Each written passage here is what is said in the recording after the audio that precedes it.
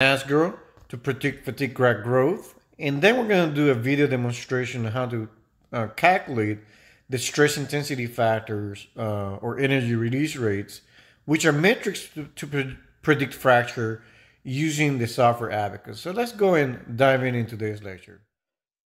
Welcome to another exciting lecture. Uh, today we're going to be discussing the fracture mechanics, which is a very significant area of expertise in the design of aircraft, aerospace, launch vehicle applications. Um, so uh, why study the area of fracture? Uh, one of the reasons we want to study the area of fracture is because there are situations where structures have collapsed due to hidden flaws.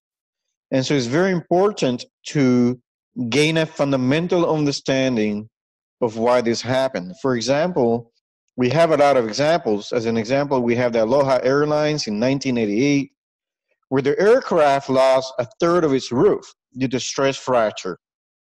We also have the Liberty ship fracture. Uh, and then we have a, a, a long history of fractures, and here's some just some examples to think about. But in general, a lot of the structures that have failed are usually initiated at stress concentrations. And we know they're due to hidden flaws because sometimes these stress concentrations have been designed such that they're below the strength or the yield, cap- yield capability. Yet, we know that fracture occurs. So we must study why these things occur. And one of the reasons we believe that fracture occurs is due to hidden flaws. That's one possibility. Uh, every structure uh, is, is going to have some internal, you know, some dislocations at the microstructure uh, that could have occurred during the manufacturing process. So uh, in aircraft, there were there were some une- unexpected failures during the 1940s and 1950s, which motivated the dramatic expansion of the research field of fracture mechanics. And so the early research was really limited to linear elastic fracture mechanics. Around 1960s, we began looking at plasticity and how fracture mechanics can be applied to situations where plasticity could occur. So um, a stress-based criteria really helps you define the onset of damage initiation. We discussed this during the discussions of low cycle fatigue, high cycle fatigue, and what we want to do is really gain an, an understanding of what will happen if damage had initiated. What happens with that crack that initiates due to stress concentration? Will it continue to propagate or, or it will remain stable. So that is one of the questions we have. And another question that could arise is what if I have a distribution of flaws that are uh, below the inspection limit? Perhaps visually you cannot see any flaws. Perhaps by applying non-destructive evaluation techniques such as dye penetrant or some other technique, we cannot see these flaws, but they're there. How do you deal with those? And so that's some of the questions we have to answer. And fracture mechanics is a very handy way of assessing that. Um, and here's an example of a crack that may have formed due to low cycle or high cycle fatigue. That's a potential. And then that crack that formed should be assessed for fracture. And the question is, can that crack continue to propagate? Uh, is it stable? Is it unstable? And so forth. So that's number one. Number two, the other question we want to answer is I have a stress concentration based on the high cycle and low cycle fatigue designs. It should not have initiated a crack, but yet it did. Perhaps my analysis was wrong to begin with, or perhaps there was an incipient flaw from manufacturing, and that could have been from the machining of this hole or this uh, window. Um, but in general, we're looking for reasons why uh, that could have happened. And that's where fracture mechanics could help close that gap. So, what is the importance of fracture mechanics? And we, we kind of discussed that through a few examples, and I won't go I didn't go through extensive details through those examples because I think there's a significant amount of that information in, in the literature. Um, and so I just wanted to highlight the main points. But all real materials can have the potential of containing defects. And so um, that for, for that reason, we need to understand the influence of defects on the strength of the material. And that's where the defect tolerant design philosophy comes from. And the idea is is, is to um, hey, you know, should we should we be assessing the design by assuming a defect is present in the part? Uh, this is relevant for fatigue because you know you could have the initiation and growth of fatigue cracks, and so those initiation points, which are now cracks, need to be evaluated as discussed earlier. There are two approaches that I'll be discussing today. One is based on the energy approach, and the other one is the rigorous mechanics approach. I want to revisit a little bit some um, um, nomenclature here. Uh, we have ductile materials, and ductile materials will will exhibit extensive plastic deformation, and so you have significant amount of energy absorption before final fracture. Brittle materials, on the other hand, have very little plastic deformation and they have low energy absorption before fracture. Fraction, what is fracture? What is fracture really? And fracture is really the creation of new surfaces within the body. And steps in this fracture process involve the creation of a crack and propagation. And so, for example, take a piece of paper handy in your hands now. And maybe it's a piece of paper you want to throw away, but take that piece of paper and um, now, as you can see, it has four sides to that paper. Uh, but if I were now to break that paper in half, I have created new surfaces that not, did not exist previously. And so that is a fracture process. It's the creation of new surfaces within the body. Fracture can be ductile or brittle, and I discussed the definition of ductile versus brittle. Um, ductile fracture will occur in most metals, uh, usually not in situations where the metal is too cold. Um, and ductile fracture usually involves extensive plastic deformation ahead of the crack tip. I'll be discussing this a little bit more in detail later on. Crack can be stable in these scenarios, uh, and it will resist further extension unless we continue to apply stress. And the reason is because of this plastic deformation that forms ahead of the crack tip. It creates a zone where you have an increased overall fracture toughness there. Brittle failure, such as ceramics, glass, cold metals, involve a small plastic zone or small plastic deformation, and the crack is usually unstable and propagates rapidly without increase in applied stress. Here is a micrograph of a ductile fracture, and you can see the fine nature of uh, the microstructure. Here in the brittle fracture, you can see a more coarse behavior. And then when you go to creep fracture, you see significant amount of non-uniformity on the surfaces of on the fracture surface. Uh, when it comes to fatigue fracture, instead of seeing this kind of behavior, you're going to see something like beach marks. This was discussed extensively in the previous lecture in relationship to fatigue. So, what is a focus today? The focus today is fracture mechanics, and one book that I recommend highly for you to purchase if you plan to work in this area is the Fracture Mechanics book by Anderson. And this book goes into extensive details from the fundamentals all the way to areas that we won't have time to cover. But that is okay. Today's lecture is meant to give you a fundamental understanding of linear elastic fracture mechanics. The extension to linear elastic fracture mechanics beyond this point is not very difficult to do. And so I invite you to go ahead and buy this book and go through chapter through chapter. one of the questions that we want to answer ourselves is when can I really use linear elastic fracture mechanics? As you can see, we have linear elastic fracture mechanics, we have elastic plastic fracture mechanics, and then we have a variety of modeling that can be done. As increase the load in a structure, um, that load um, is going to uh, be such that there's a point at which the structure will fail. So if we call that the failure stress, so there's a flaw and there's a stress, and we increase the stress to the point that fracture occurs. I'll call that the failure stress when that happens.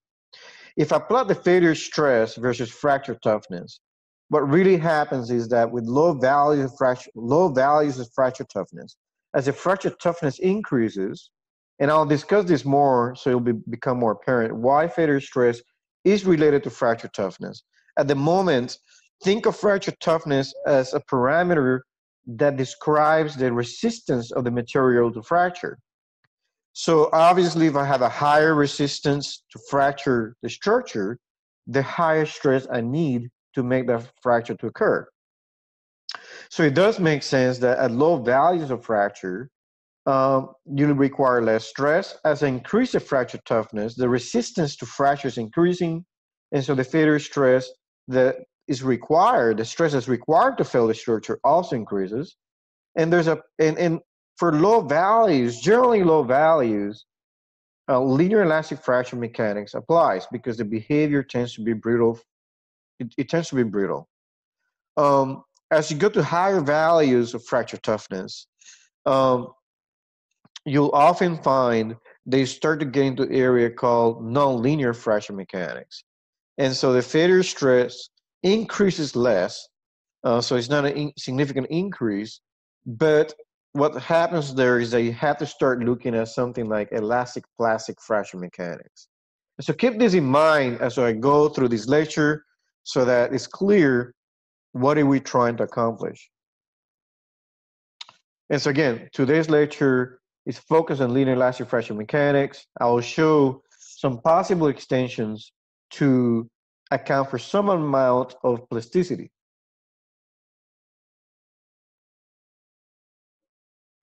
So what is the big picture? What is the big picture? And so given a structure, given a flaw, given loads, when is this structure going to fail? And so look at this as the outline of today's presentation. But the first step is really to discuss what is the stress intensity factor? What is K1? That's what I'm going to focus on in the next uh, third or half of this presentation. And then once we figure that out, and I will show you that the stress intensity factor really describes that stress concentration field. And so this stress concentration factor, for which is for a sharp crack, is directly related to the stress that you apply, is related to the flaw size. And if you want to determine whether fracture occurs, the stress intensity factor must be less than a material property that we call the material fracture toughness. So as you can see, there's several things at play that tell me when fracture occurs. The stress intensity factor, the stress as applied, and the crack length, and then you have the material fracture toughness. It's important to understand that all of this needs to be considered uh, simultaneously. And so we're going to start first discussing what is stress intensity factor, because perhaps it's the first time that you've ever seen this. So let's go back to the stress concentrations for elliptical hole. And we derived in previous lectures how to come up with a stress field for an elliptical hole. And for that, uh, we can derive that using the equation for the ellipse and using concepts that are based on the Airy stress function. In today's lecture, we're not going to dive deep into those derivations. But I want you to realize that uh, there are certain conditions when uh, you you uh, you will get a sharp crack instead of an elliptical uh, hole, and those conditions are driven by the uh, minor and the major axis of this elliptical hole. To accomplish that, to get a sharp crack, you have to set alpha equals zero. And when you do that, you recover a, a crack. And so uh, when we look at this solution for uh, the stress field in a for an elliptical hole, we find that the stress components are given by this expression, and at the hole surface, at the hole surface, at this surface, we can look at what is going on. The maximum stress occurs at this point when the loading is applied top and bottom. And so when I look at that stress field, that stress field it is stress times 1 plus 2a over b. And here b is the height of this elliptical hole. Twice the height, 2b is the height, the full height of this elliptical hole. And a, in this instance, 2a in this instance, is a full distance across elliptical hole. So what I want you to notice is that when this radius of curvature, when this radius here decreases, uh, it goes to a number such that it's close to zero, which means you recover a sharp crack and this height is zero, and that means B is zero in this case, then the stress intensity factor or the stress concentration factor for a hole goes to infinity. Notice that when A equals B, you recover a circle. And when you have a circular hole, the stress concentration for that is three, which is what was derived in the stress concentration lecture.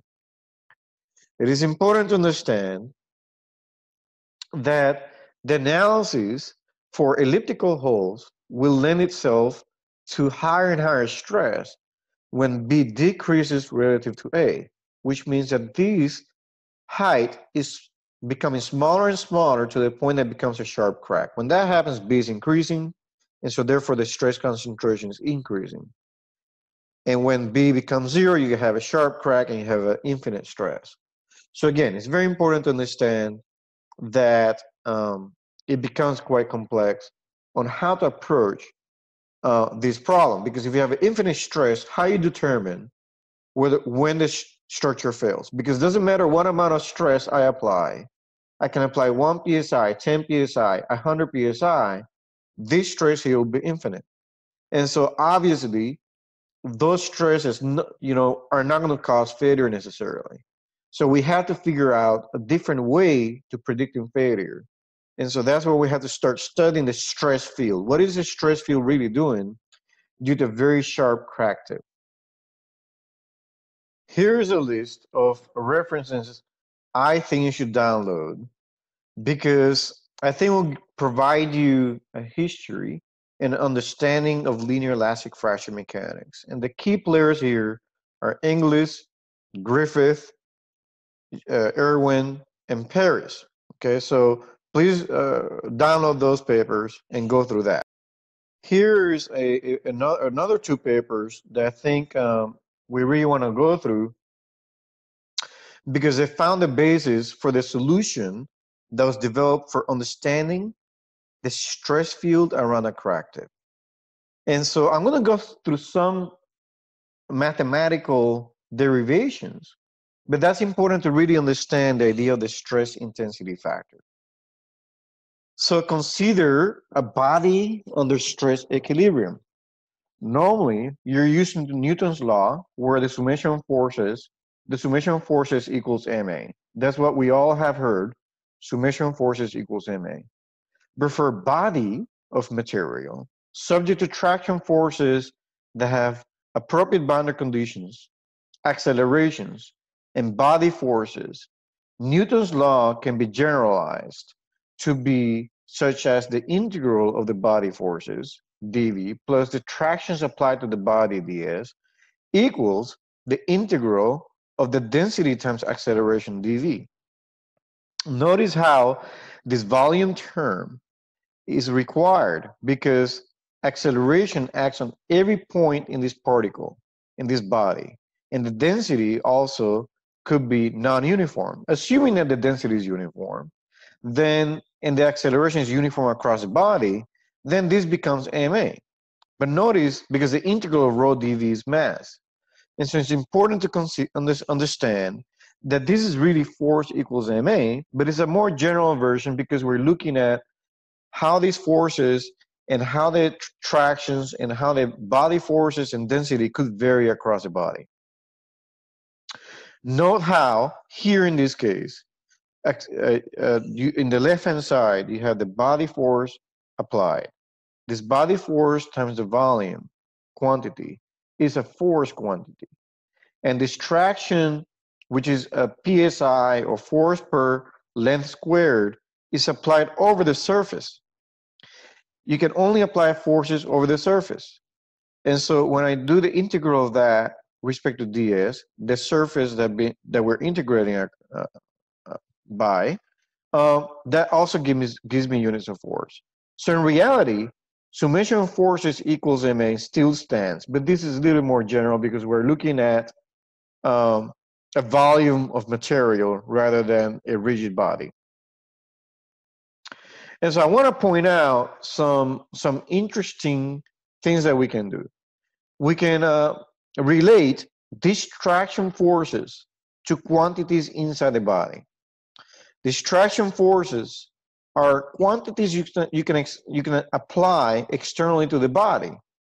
But what really fractures the body are internal quantities that may exceed their metrics.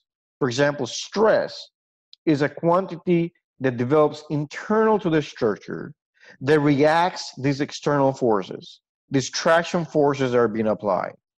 As a consequence, it is important to me that I take these tractions and I figure out what the stresses are inside this body.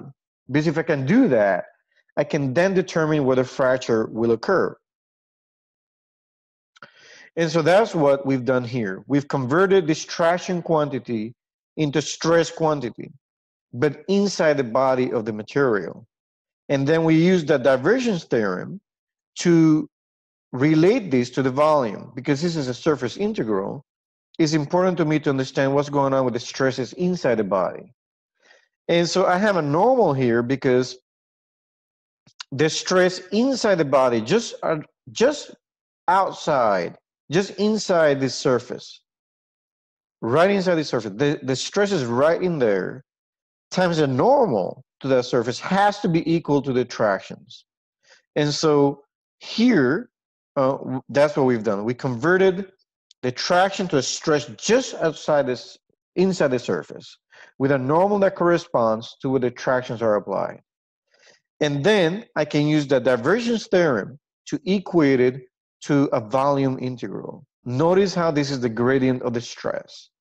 Now, if you're wondering what these i's are, it, it is a called the Euler's notation or index notation here.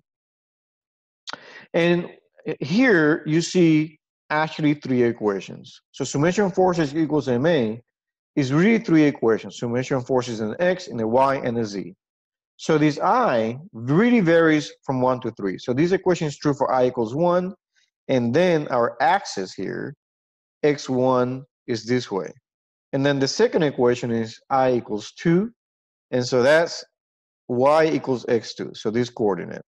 And then the third equation is i equals 3, which corresponds to the equation in the third direction, x3. So it's important to understand that this equation represents three equations. And what we've done here is we have expanded on this one because what we really want to do is tractions applied outside the surface of the material, like drag, lift. These are things you can apply. Need to be related to stresses inside the body and as a consequence, we've made this transformation here or this relationship. And so this is just true statement. Now that I have it in terms of stress, I can now convert this into volume integral. What I want to point out is that this is a fairly powerful conversion from surface integral to volume integral. And the reason for that is because we've taken a quantity that's acting on the surface and we made it true to act on the volume at every point in the body of the material. In other words, if I know sigma ij nj on the surface, I know exactly how the gradient of stress varies inside the body. And this is what this is really saying here. So if I substitute this expression by that, then I get this equation here. For no acceleration, we can drop that term. And so then we get this equation here. This equation here, since the integral volume applies to both terms, then sigma ij comma j plus bi equals zero.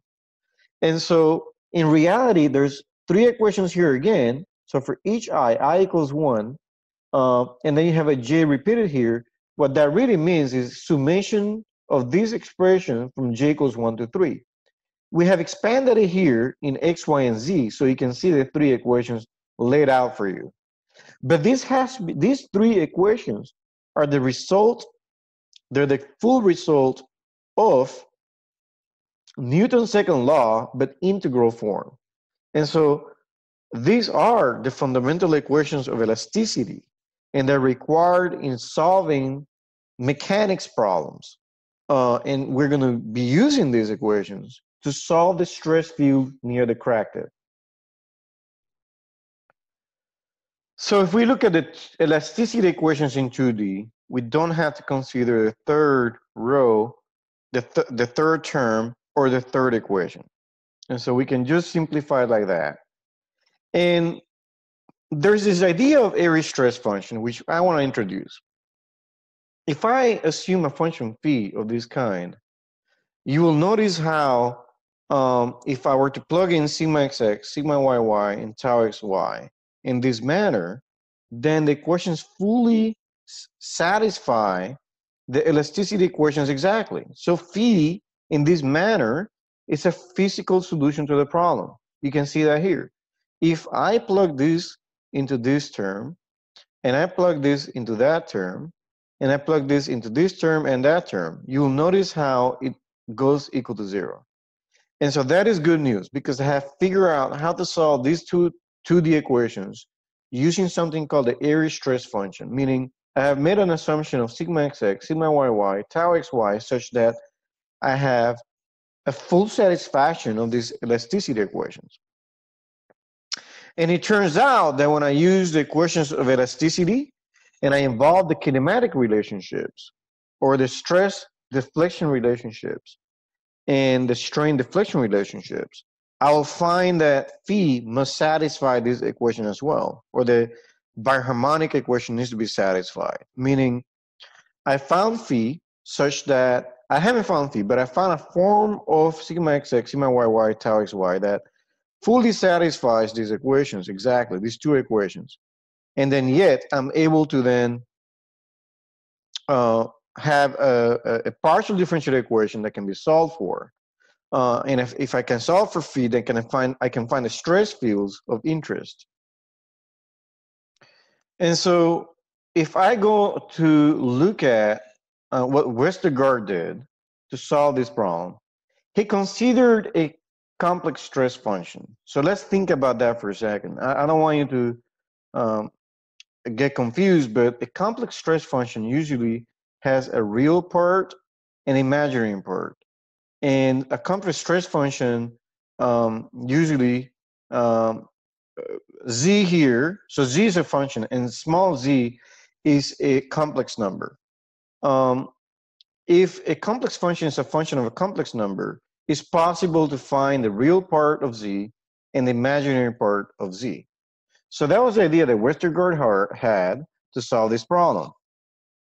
And so I want to point out to, to some Cauchy's uh, Riemann relationships for complex variables. So for example, the real part of the first derivative of z, respect to small z, is really the derivative of the real part of z, respect to x, which is also equal to the derivative of the imaginary part of z, respect to y. So these are just identities that can be proven, but we won't prove it here. Uh, you could find the proofs in various papers or books and books, but today we're going to focus on on some uh, top level understanding. So I don't want anybody in this lecture to get riled up with the mathematics, but I think it's important to really derive these equations so you understand what stress intensity factor really means. So please, big picture perspective, I have, so let me back up so it's understanding, we're understanding what we're trying to do. We have a crack here, and the stress is infinite at this point. And I want to figure out a way, if I apply a stress in the far field, how can I predict failure if this stress is infinite? Doesn't matter what stress I apply, I will have an infinite stress here. And so that makes it very difficult for me to predict failure. Maybe there's a better way. There's a maybe there's a an approach I can use to to move forward here. And one of the approaches is to to understand the stress field around the crack tip, which is what we're trying to do. And to figure out the stress solution around the crack tip, we have to recur to some mechanics. And what we did, we used the Newton's law integral form, and we demonstrated that these are the equilibrium equations of elasticity. And for 2D, we have dropped the third term and the third equation. And so we're left with this. And I showed you that by assuming a form for stress that looks like this, I can then substitute this into these equilibrium equations and demonstrate that it fully satisfies the elasticity equations. And then I also have pointed to you, and I've skipped the derivation, but that then then the governing equation then becomes the biharmonic equation, which can be found from the compatibility equations for the deflections, the strain deflection relationships. So this was covered uh, in the stress concentration lecture, but I'm bringing that up again today. And so how, and so what I'm trying to discuss now is how to deal with uh, how Westergaard approached it. And so again, he assumed a stress function, but I have to discuss some identities that will become important later. The imaginary part of the derivative of z respect to z can be found as the derivative of the imaginary part of z respect to x, which is the minus of the real part of z respect to y. Uh, so that's that's really important. Uh, the derivative of z respect to z, so this derivative here, is also the real part of the derivative of z with respect to z in this manner, plus i times the imaginary part of the derivative of z with respect to small z. So that's an important relationship um, that needs to be addressed. So because of that, we can now expand upon this using these these identities. So the derivative, this this one here was found here at the top, so I can substitute it as that one. So that one is that one, and then plus i, and then we found what this is. So this part was found uh, as that right here. And also that's in terms of x, but we can also make it equal uh, in terms of y. So that's, this is also equal to that. And this is also, uh, these two are also equal, okay? And so I'll continue here with some additional identities here. So I wanna I wanna make make a, a uh, some definitions here. And th there's nothing fancy here, so just pay attention to this. I'm to define the derivative of z double bar dz as z bar. And then the derivative of z bar respect to small z as z, and the derivative of z respect to small z as z prime. This is done purely for convenience, just for convenience, okay? So again, these are just definitions. If you uh, you know, see z bar anywhere, you know that's the derivative of z double bar dz. If you see z anywhere, that's the derivative of z bar dz. And then if you see z prime, that's the derivative of z respect to small z. And remember, z is a function, a complex function, and small z is a coordinate, x plus i y. Okay. So this is what Westergaard did, okay? Backing up. Westergaard chose the Airy stress function phi as a real part of the stress function z double bar plus y imaginary part of z bar. Now, I'm not asking you to figure out figure out how he did it. Um, I mean, he he worked on this for years to figure this out. So for you, what is important to understand that this is what he came, This is Airy stress function he used, and again, this Airy stress function phi is the one that automatically satisfies the equations of elasticity and what you're really trying to solve is a biharmonic equation. And so by assuming an Airy stress function of this manner, um, now I can take, and note, note that sigma xx, sigma yy, and tau xy require the second derivative of phi respect to y, second derivative of phi respect to x, second derivative of phi respect to x and y, and as a consequence, that forces me to find the derivative of phi respect to y, as you can see. I have to do that calculation. And the derivative of phi respect to y uh, then becomes the derivative of the real part of z double bar, and then the derivative of this respect to uh, y, okay? And so you'll quickly notice that I have to go back to the relationships we discussed to be able to proceed forward. I want to point out that the z he selected had this form. Very important to realize. So this is a z that he selected. Uh, a is a crack length, and z is a complex variable. Um, uh, and it's a coordinate, x plus iy. And so something very important to realize there is that that's a z that he selected, and this phi here um, was selected in this manner. So when you, if you use uh, these expressions at the top, and you use these identities that we just discussed, all these identities here, which I don't want to go into extensive details because my point is walk you through top level and feel free to pause the video right now and see if you can derive these expressions. And uh, let me let me let you pause the video.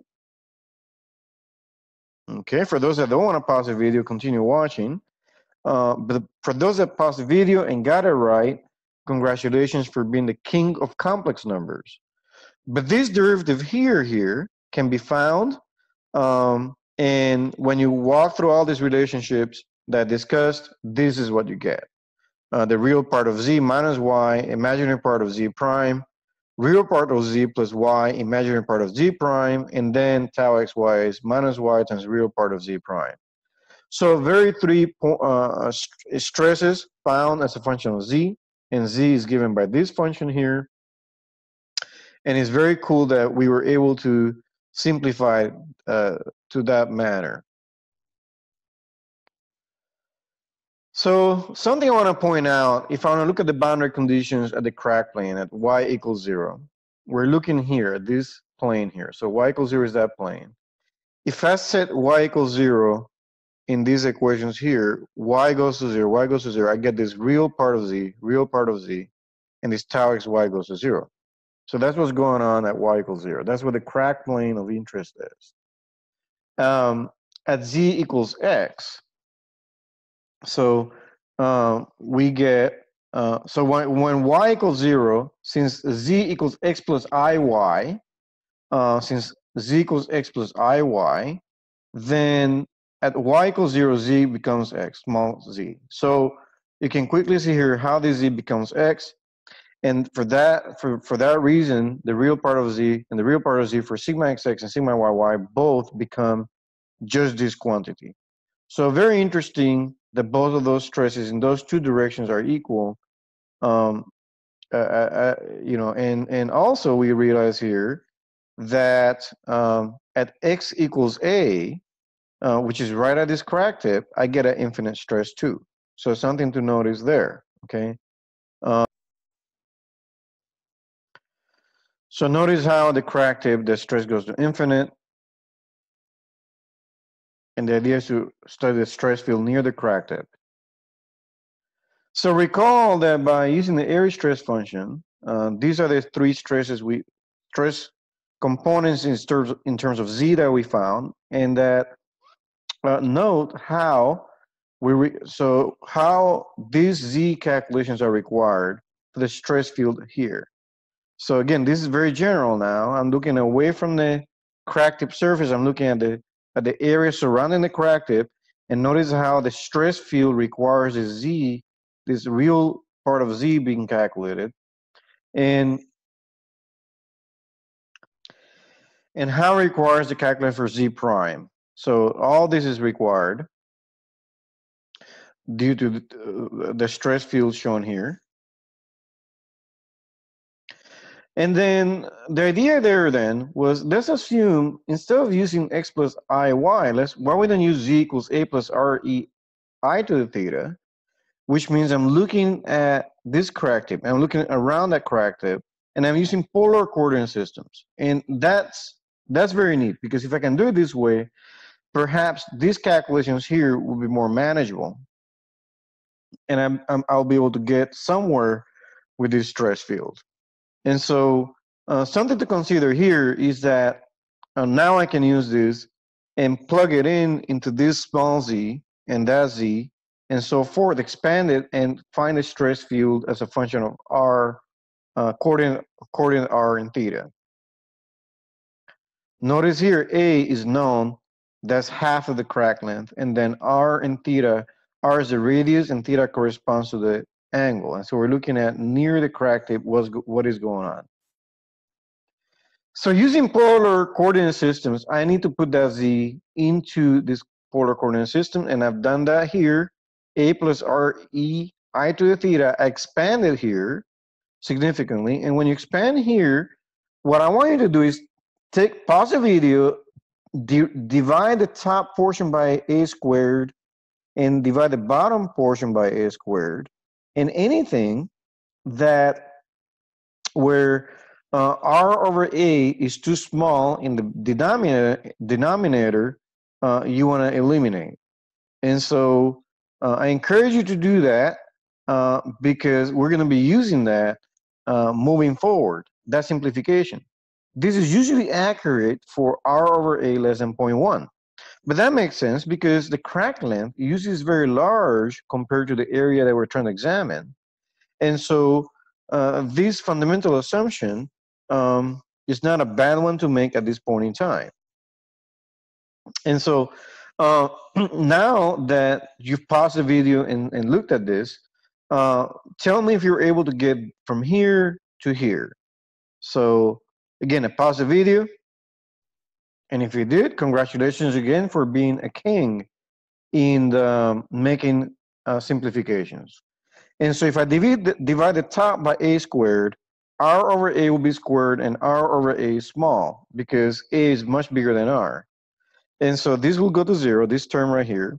In the denominator, if I divide it by a squared, this is one. And then this term will have r over a, and that's small, so we'll eliminate that. And this will have r over a squared, which is also small, we'll eliminate that.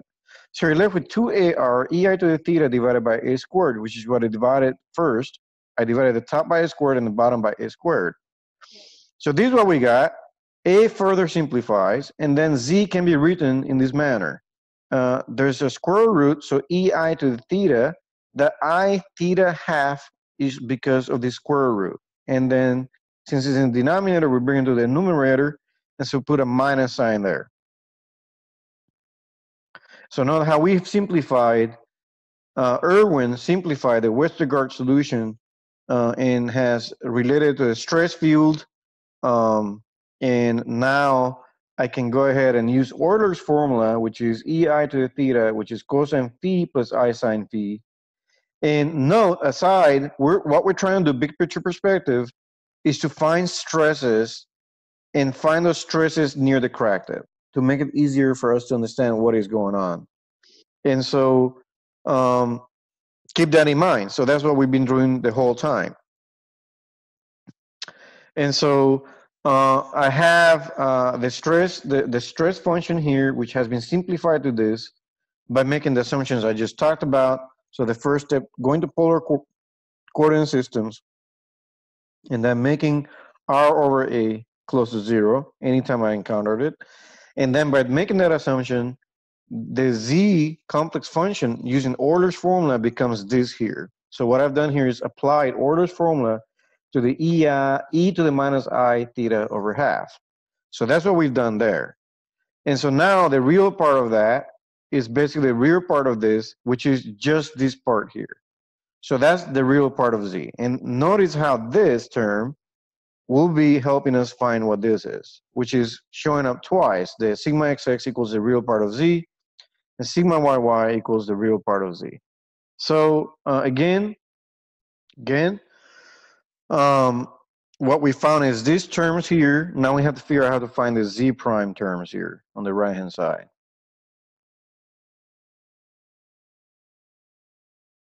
So I have to find the z primes. And so we can continue expanding here. So z prime is this. substituting, uh, and remember this z was given earlier as this, the Westergaard function. So I have to find z prime there. Uh, so that's what was done here. And then once I have it in that term, I substitute Euler's formula or the complex function in polar coordinate system, the coordinate, and small z is a plus r e i theta, the same here with that z. And then I expand on this. Once I expand on that, I again make the simplification we talked about earlier. And when we do that, divide everything by a squared and so forth, the way we talked about it. And when I do that, everything simplifies to this. And again, I will try to apply the Euler solution or the Euler's formula to then expand this even further. Okay?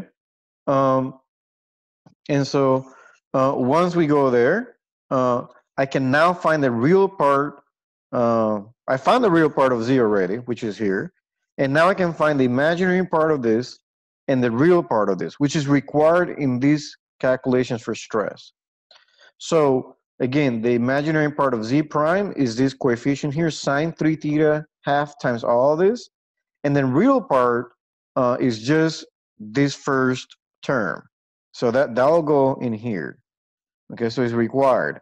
So if I look at stress XX by itself alone, which is this one here, stress XX is this one right here. So I have the real part of Z, which I found in the previous page. I have to find the imaginary part of Z prime, which is uh, basically this coefficient times all this stuff. And so when I expand, I get this. Now I also realize that this can be further simplified into this because uh, we know that y divided by r is really sine theta in polar coordinate systems, and that x over r is cosine theta. So we can use that relationship to further simplify this. We can use some trigonometry identities uh, and, and, and expand sine theta into sine theta over 2 and cosine theta over 2. So, that's a trigonometry identity where this one half goes away by doing this transformation. And then you can factor out the cosine theta to have it in this form, okay? And so uh, note that this is what you will get um, by, by um, um, for the stress field around the crack tip, actually. And uh, so that, that is a solution for the stress. And we've, we've accomplished quite a bit by doing that. You can do the same thing for sigma yy and tau xy the bottom line is that stress field is going to look like something on the right hand side. That's how it looks like, uh, with a high stress at at that very tip. And so um, it is it is very common uh, in this area of expertise to multiply in this square root, root to put a pi there.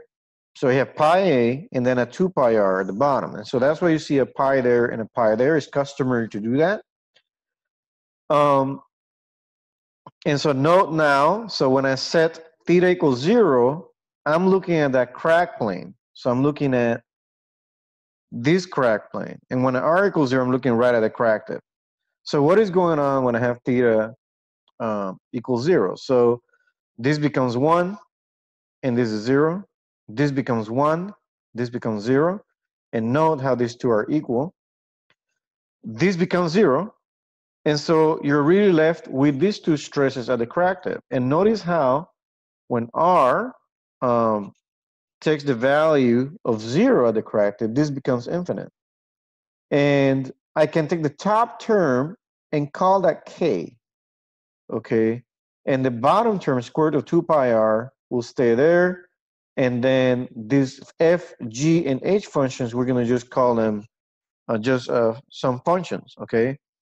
Uh, bottom line here, this k right here, which I have made equal to stress infinite squared to pi a, that stress, that's that value here, I'm going to call the stress intensity factor.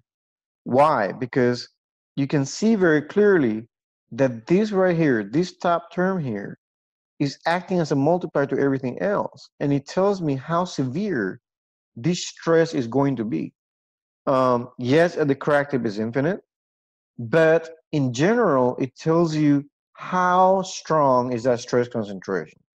It tells you a lot about the strength of that stress concentration. the greater the value of A, the higher the stress. The greater the remote stress sigma infinity, the higher the stress. So clearly, this K here, which I've called this, is giving me a lot of information about the stress intensity of that field.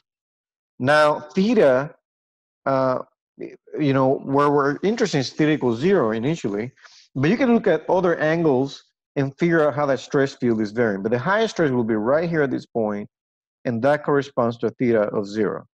So again, the crack size and the far field completely describe the severity of the stress state at the crack tip.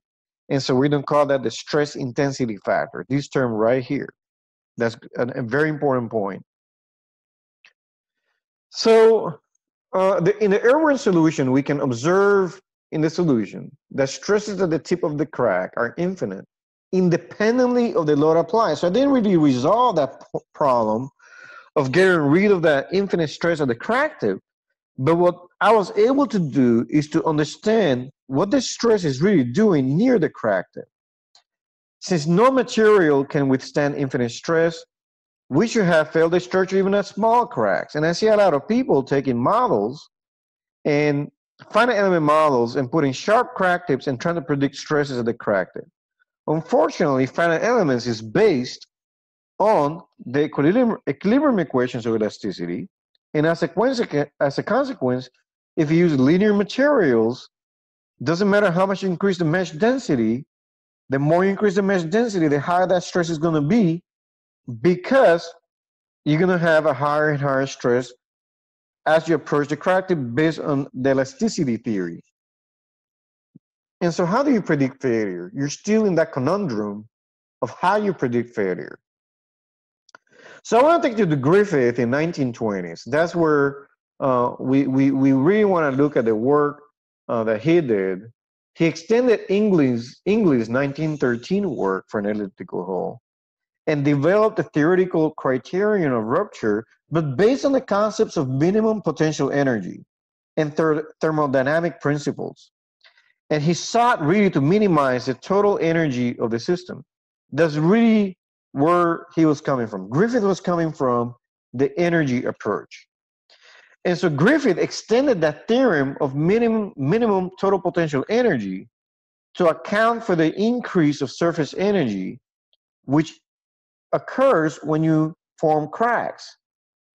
And so, because of this annoyance of the infinite stress, the energy based approach was proposed. Okay.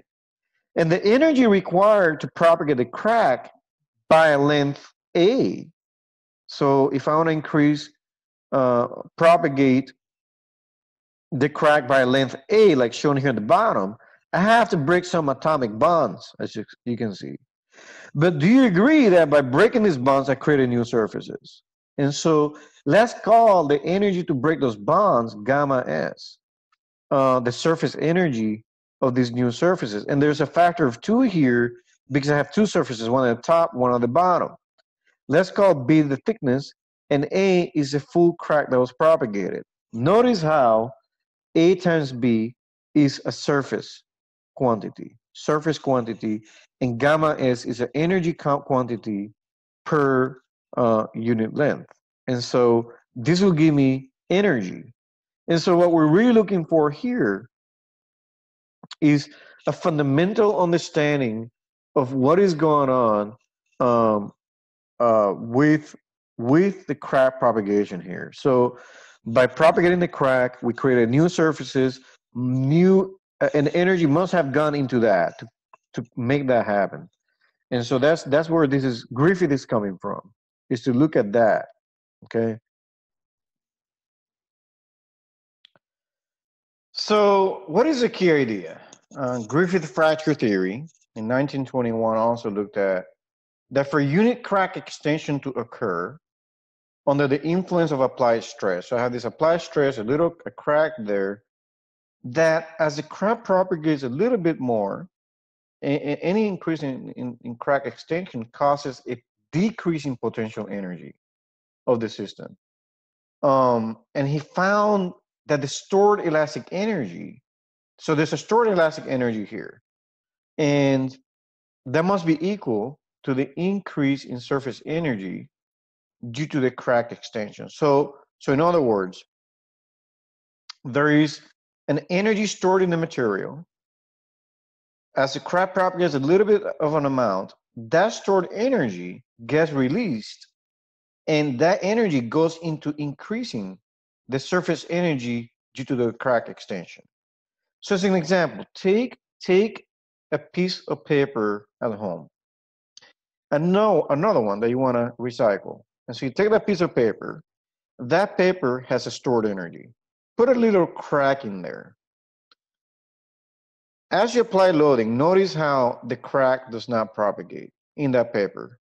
But when you, re you reach a critical value of loading that you apply to that paper, you will see the crack starts propagating. Well, the paper had some amount of stored energy, but what happened there is that when the crack propagated, the energy that was stored in the paper gets released and it goes into creating those surfaces.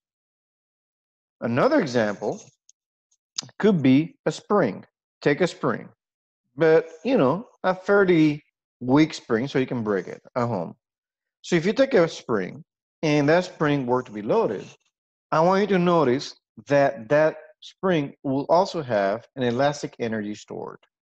And so as a consequence, what are we talking about there? If you apply a load to that piece uh, of, of, of, of a spring, that there will be a load at which the spring will break.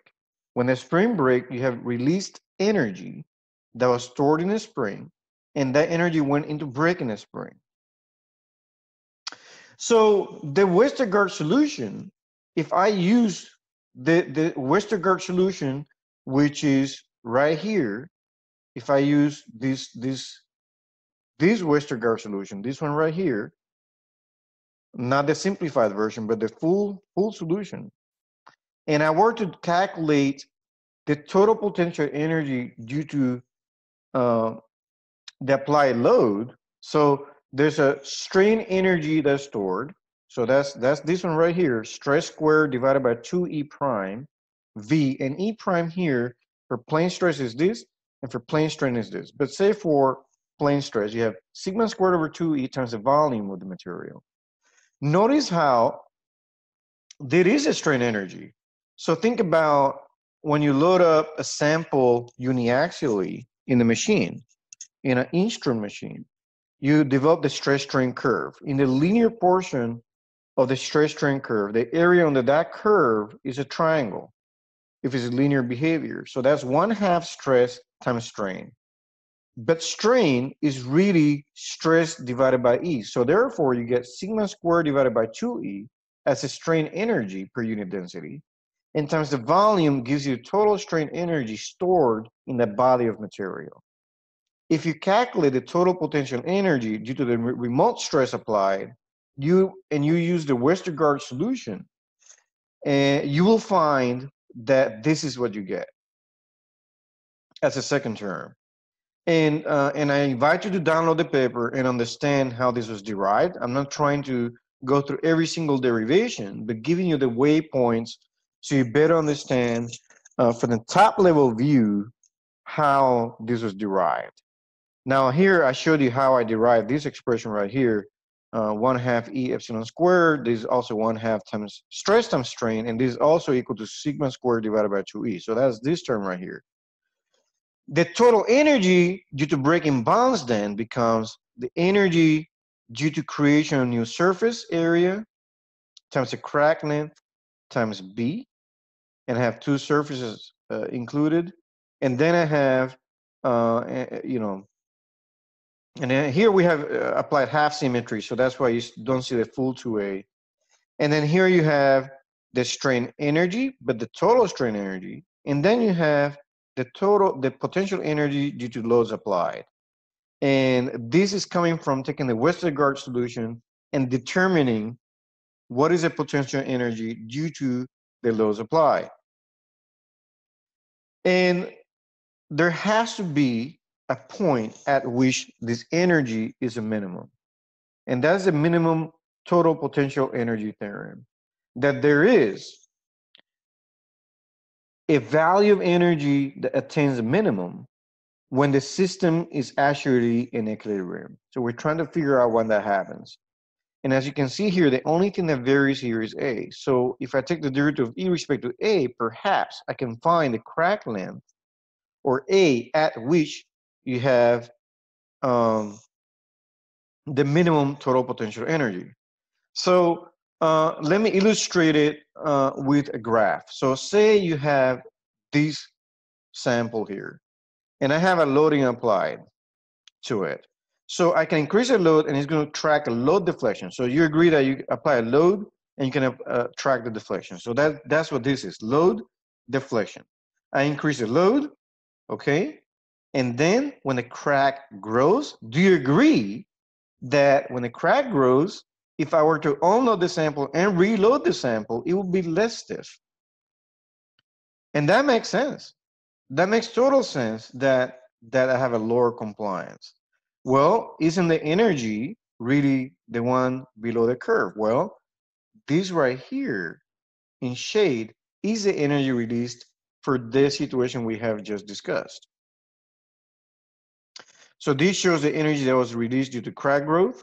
I'll take the derivative with respect to A of the energy and find what is the length A that causes unstable crack growth. And so this uh, term right here has no A. And so the stored energy has no A. So then the derivative of E respect to A, the energy, uh, basically gives me this expression. I can solve for A or I can solve for stress. And if I solve for stress, I find the critical stress, the fracture strength at which, for a particular crack length, I have failure. And gamma S, which is the energy that is required to create those new surfaces is also called the Griffith critical energy release rate. That's why G is being used because of Griffith. And this is a critical material parameter. E is the material parameter, is the modulus of the material. A is half the crack length. And you can see here how this equation can be used to calculate the remote stress at which fracture occurs. Likewise, I can fix the value of stress and figure out what crack length will make this relationship equal. And that crack length, it will be the critical crack length at which cracking can occur. So again, we've we've made a lot of progress here in, a, uh, from the energy standpoint. I started with mechanics to define what the stress intensity factor was was, and then we're looking at uh, the fact that the stress is infinite, and I'm still stuck with the issue that I don't know. I don't know what is the stress that causes failure. That's what took us to the energy approach. So if you recall, this is what I found for the stress field, but right at the crack tip is infinite. I found this idea of the stress concentration factor, stress intensity factor, which explains to me how intense the stress field is, which makes sense that depends on A, and stress. But I was stuck there, so I had to go to Griffith to look at the energy standpoint. And notice how, through the energy standpoint, I'm able to figure out the fracture strength now. I'm able to figure that out. Given the modulus, given A, and given the critical energy release rate, which is a material parameter, I'm able to figure out the stress that's required, that remote stress that's required to fail the structure. So the good news is the critical stress intensity factor somehow, it is related to the critical energy release rate. We discussed previously that the stress intensity is the remote stress times the square root of pi a, but perhaps there is a critical value of stress intensity factor at which the structure fails, called and that could correspond to a particular stress, which we could call the fracture strength. So assume there's a value of stress that causes fracture, we can call that the Kc, the stress, the critical stress intensity factor. So, so that's Kc, and then this Gc, the Griffith critical energy release rate, came from solving for Gc here. And so square both sides, put pi a to the other side, e becomes the denominator, and, and then now I have these two expressions. I can divide the two expressions by sigma f. Um, and well, I can first square this formula. So square this formula, divide those two expressions, and then you get rid of the sigma f squared. The pi cancels out, and then you're left with this interesting relationship. And the relationship is very simple. That we've connected the idea that the critical energy release rate is connected to the stress intensity factor also. But the critical stress intensity factor squared divided by that's an immense finding because it shows us it shows us that they're related by this modulus. And so I'm able to make this connection here from the energy side to the mechanic side. There's these three papers. Again, I encourage you to find uh, so that you can go through that in great care. Let me show this from a different perspective really quick. I've kind of covered this, but I want to get back to the interpretation of G, the energy, the Griffith energy release rate due to the new surface area created. And so we're using the energy release rate. Why is it release rate? Is because I have a structure with a flaw and that gives me a compliance or a strain energy, right? Or total potential energy. And when the crack forms, then you have a lower stiffness, which means you have a lower amount of total potential energy. So you have actually released some energy, strain energy, and that release of strain energy that caused the crack to propagate is equal to G. And if G is greater than GC, which is a material parameter, then crack growth occurs.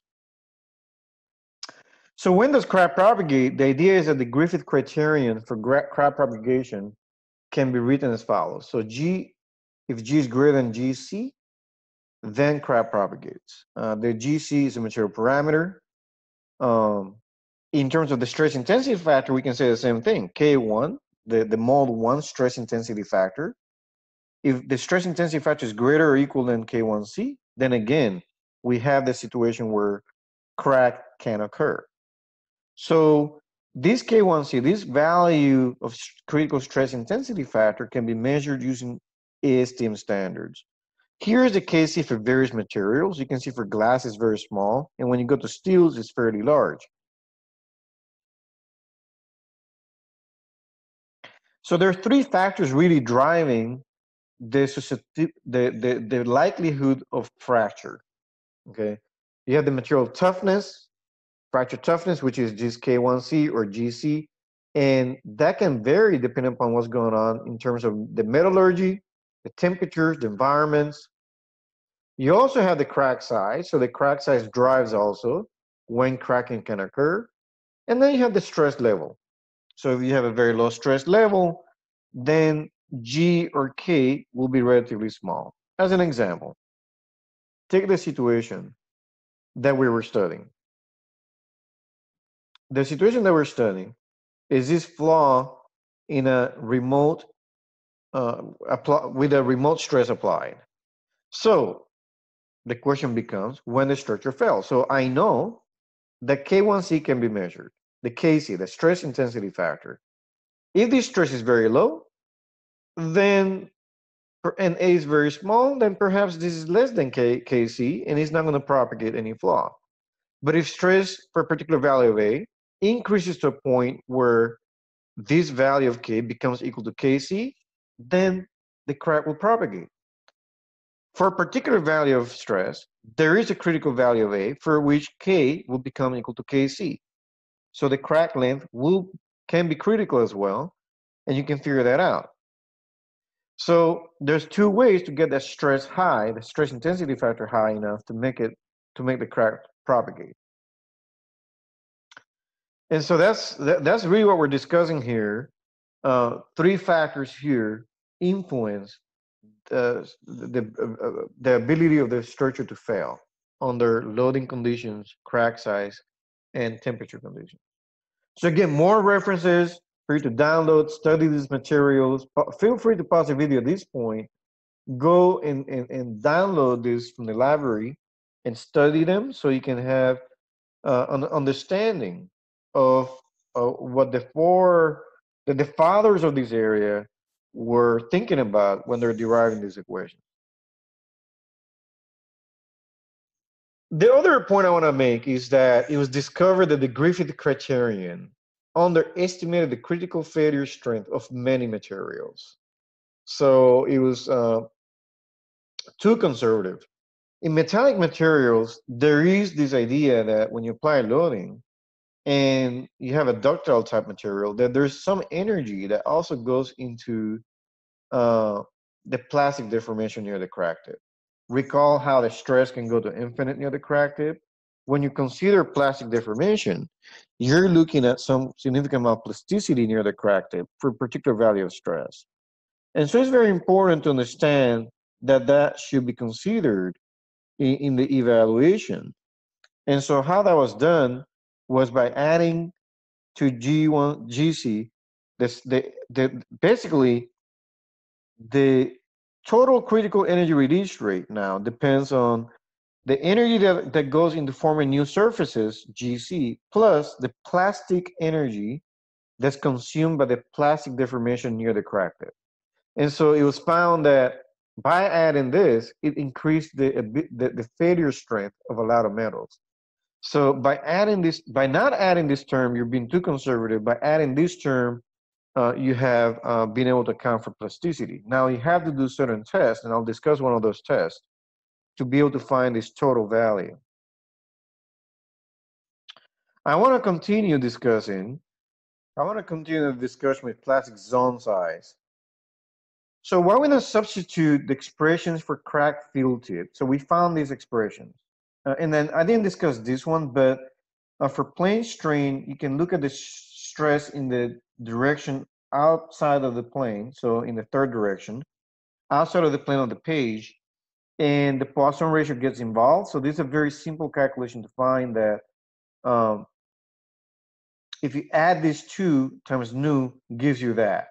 So that's what there's coming from. If you add this plus that, sigma 1 plus sigma 2 times nu gives you this expression. This comes from the Poisson ratio. If you apply, you know, if you have a stress field, sigma 1 and sigma 2, then for plane strain conditions, sigma 3 will be equal to sigma 1 plus sigma 2 times nu. Uh, for plane stress, the structure can be so thin that you don't develop a stress in the through the thickness or out of plane direction. Um, but if you substitute these far these crack tip fields uh, to figure out the plastic zone size, we're interested in that, uh, and that'll become important for a reason coming up. But if I were to take the stress fields and put them into this von Mises stress, uh, von Mises stress criterion states that if this is equal to this, then yielding occurs. So it's a yield surface. So I can plug this in here and determine from there what, what is a plastic zone size for my situation. And so uh, the idea there then is to study, um, to, to, to, to substitute this here and then find R. Okay, so uh, for when we do that for plane strain, uh, we get this expression. We can solve for, for the plastic zone size. And then for plane stress, again, we can solve it for R again and then find the plastic zone size. So you can see here plastic strain and plas, uh, plane strain and plane stress will give you different plastic zone size uh, because uh, the behavior is different at the crack tip, as shown by this. The stress field looks different in the third direction. And so you can see here that for very thin this is the plastic uh, zone size, so that's for plane stress. And as you go thicker, the plastic zone size very significantly smaller in interior. You can see that because the stress field is not as constrained. Uh, and so um, if we want to determine the plastic zone size as twice Ry, uh, then this will be the expression uh, right at the crack tip. And then uh, for thicker uh, plane strain uh, condition, this will be your plastic zone size. And you see smaller uh, than this one. And it's three times smaller because, uh, again, there's no constraint. Uh, it's constrained. So let's look here at what is going on in the through thickness direction. Okay. So that's why this is coming from here, this sigma, this stress in the third direction. For plane stress, you have a very thin structure, so the stress that develops in this direction is fairly small. And so that's why you develop a larger plastic zone. And then for thicker sample, it's behaving more like plane strain. And again, what we're discussing there is that uh, the the plastic zone size is smaller and by a third almost. So I also want to point out for linear elastic material, the yield uh, point, uh, RY, is going to be this much. Uh, I do want to point out that the plastic zone can uh, can extend that even more. But just want to make that comment. That's why there's a two times RY. It ex- it can extend more, um, but for linear elastic, then the plastic zone zone can be considered up to this point. The reason that it can extend more because from linear elasticity, the plastic zone will be some amount, uh, but if the yield stress cuts that off, all that energy has to go somewhere. So, so therefore, you're going to have for an elastic plastic material, uh, you're going to have it, that stress is going to have to this all this stress will have to get di- redistributed beyond that plastic zone to this point. So plastic zone can be even larger. So when can you really apply linear elastic fracture mechanics? That's the key here because recall linear elastic fracture mechanics start you know we, we started that discussion with uh, some mechanics that that did not consider plasticity. So uh, when can you use it? Due to the plastic zone at the crack tip can you really use this? The answer is yes you can use it because the plastic zone can be fairly localized. The question is when is good enough? When when is the plastic zone too large where I can no longer trust the results for the stress intensity factor calculation? And the answer is that we can use linear elastic fracture mechanics in the situations where we have small scale yielding. And that means that uh, uh, that the crack tip, that the plastic zone size is relatively small relative to the crack length, as well as the geometric dimensions of the specimens of the part. So what are the restrictions for LEFEM that are recommended? So we want to make sure that the net stress in the crack plane be less than 0.8 times the yield stress. So that means that if I look at the net section without the crack tip, so I look at the net section, that the stress there is 0.8 times sigma, sigma yield.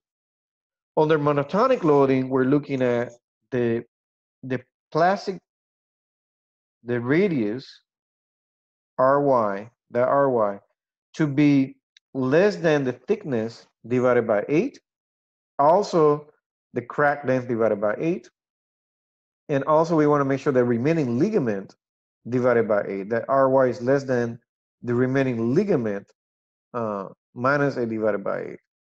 Uh, and uh, again, that's an uncracked ligament. So if the width, the sample is width, crack length is 8, then the remaining uncracked ligament is doubly minus A. Make sure that's Ry is less than that divided by 8. If those three conditions apply, then linear elastic fracture mechanics becomes very attractive. So um, let's talk about the situations where you know we want to account for the small scale yielding. We want to take account for that plastic zone. So Irwin had this correction factor that he thought of, and the idea was increase to basically add this ry to a, just add it up. And if I do that, and notice uh, that this is uh, twice ry, so ry, this is rp basically. But if I want to look at twice ry, ry is really half of this. And so if I look at the uh, plane stress one, the idea is to add that one to A, the crack length, and I get an effective A, and use that effective A. So I've increased the crack length, effectively. And so as a consequence, now that goes into my stress intensity factor calculation. The problem is that the stress intensity factor calculation, um, which is this one, which depends on geometry, stress, and the crack length, the effective crack length has increased, but that includes a RY, which also has a K. So K shows up here and here, and so this has to be solved iteratively.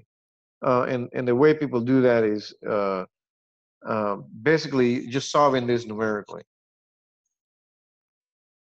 or iteratively. You can substitute the value of a that you started with, get a new k, put the k in here, get a r, take r, add it to a, and then keep doing this calculation until the, the, the two sides are fairly equal. So this is how you account for the plastic zone size using the, the Irwin's correction factor, uh, and that's really, really good for small scale yielding. So that's where the limitations are. Um, I'm sure that you all understand uh, really what we're talking about here, okay? Um, so let's now discuss uh, the stress intensity factor solutions. Um, so the stress intensity factor solutions, the, the, the solution I dis discussed earlier was a, a plate with a crack subjected to a remote stress. And but for a more general situation, um, the, for the most general situation, the stress intensity factor depends on a geometric factor, a crack length, and the remote stress. So it's very important to understand that the one I discussed earlier, F was equal to one. And that was the simplest solution that we found. But the solution becomes more complex for various situations. And and and so I'll be discussing that. Um, and note how F depends on the geometry. And when this value of K reaches KC is when crab propagates. So there's a handbooks. There's many handbooks that have the stress intensity factors. I recommend that you download them or buy them uh, but here's a feel free to pause the video, find these uh, these books, get them to the library, and even this website could be very handy. It has some solutions as well, uh, but I recommend that that you download them. I'll go through some solutions, um, uh, and, and, we could even discuss it more uh, as we go through. Um, but uh, these handbooks tend to be in the hundreds of pages and tend to be very useful for for industry uh, or many different applications uh, that you may encounter. If we have a situation where crack with an edge crack with a remote stress, you can see here that the stress intensity factor, and there's this uh I here means one, mode one, and it's mode one because the crack is opening, and I'll discuss that a little bit later. But for now, this stress intensity factor uh, is 1.12 times the stress, remote stress, times the square root of pi times a, and a is this distance. Note how this equation looks quite different from the same situation but the crack in the center. And remember that with the crack in the center, the crack length was 2a. Here, the crack at the edge is a. Just want to point out that difference because it does make a difference in terms of trying to compare this one to the other one. This situation is more damaging and the reason is because there's no restraint. That this there's a free edge and the crack can open more freely compared to the centered crack where the crack was restrained by the material surrounding it. Okay so that's that's that's an analytical solution. Uh, and you can use these analytical solutions ver- for various situations that you may encounter.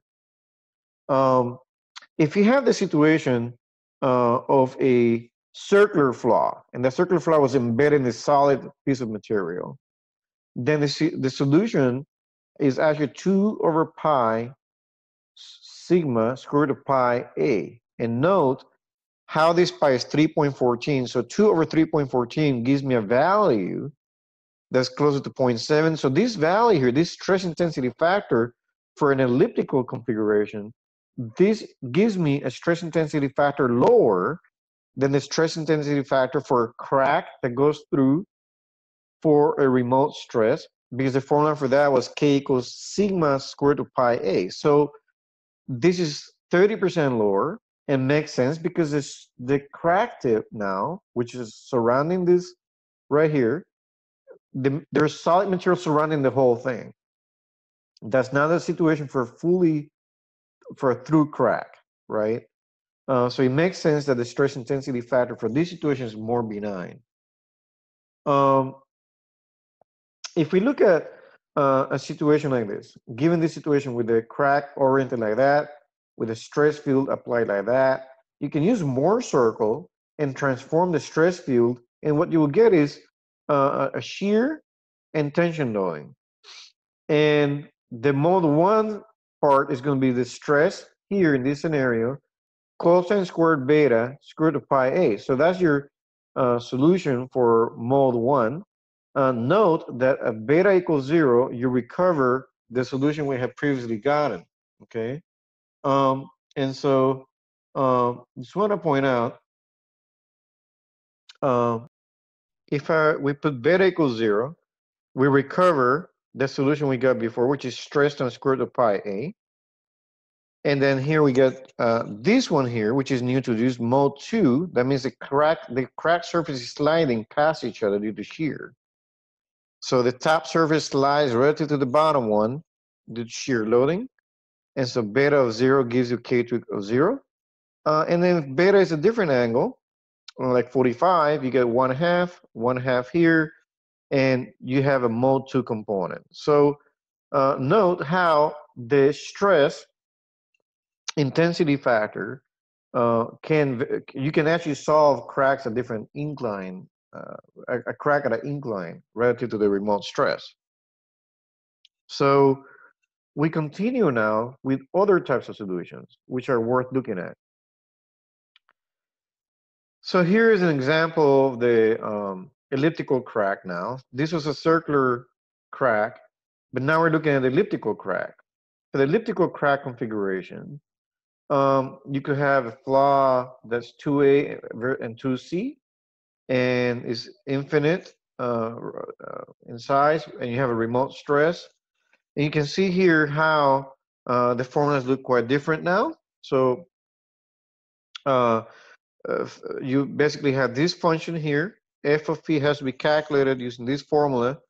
Uh, and phi, notice how f phi varies. And so, um, so for varying phi, uh, it will get you across this semicircle here, um, and you, a semi-elliptical uh, crack uh, interface or phase. And for phi of zero, you're talking about this point here. So that that's one and that's zero. And then A C of one will give you F phi of one. And then A over C of one gives you 2.464, which goes in the denominator. Um, and so anyway, so these are the calculations and you can recover back this solution. Um, we can then go to the surface crack. This was a very interesting one because it occurs quite a bit. The surface crack um, but again, with a is embedded in an infinite medium. Um, and again, now this is a little more complicated. You have a lambda s which corrects it, so it corrects this further, um, but it keeps all the other stuff the same. It just has this extra correction.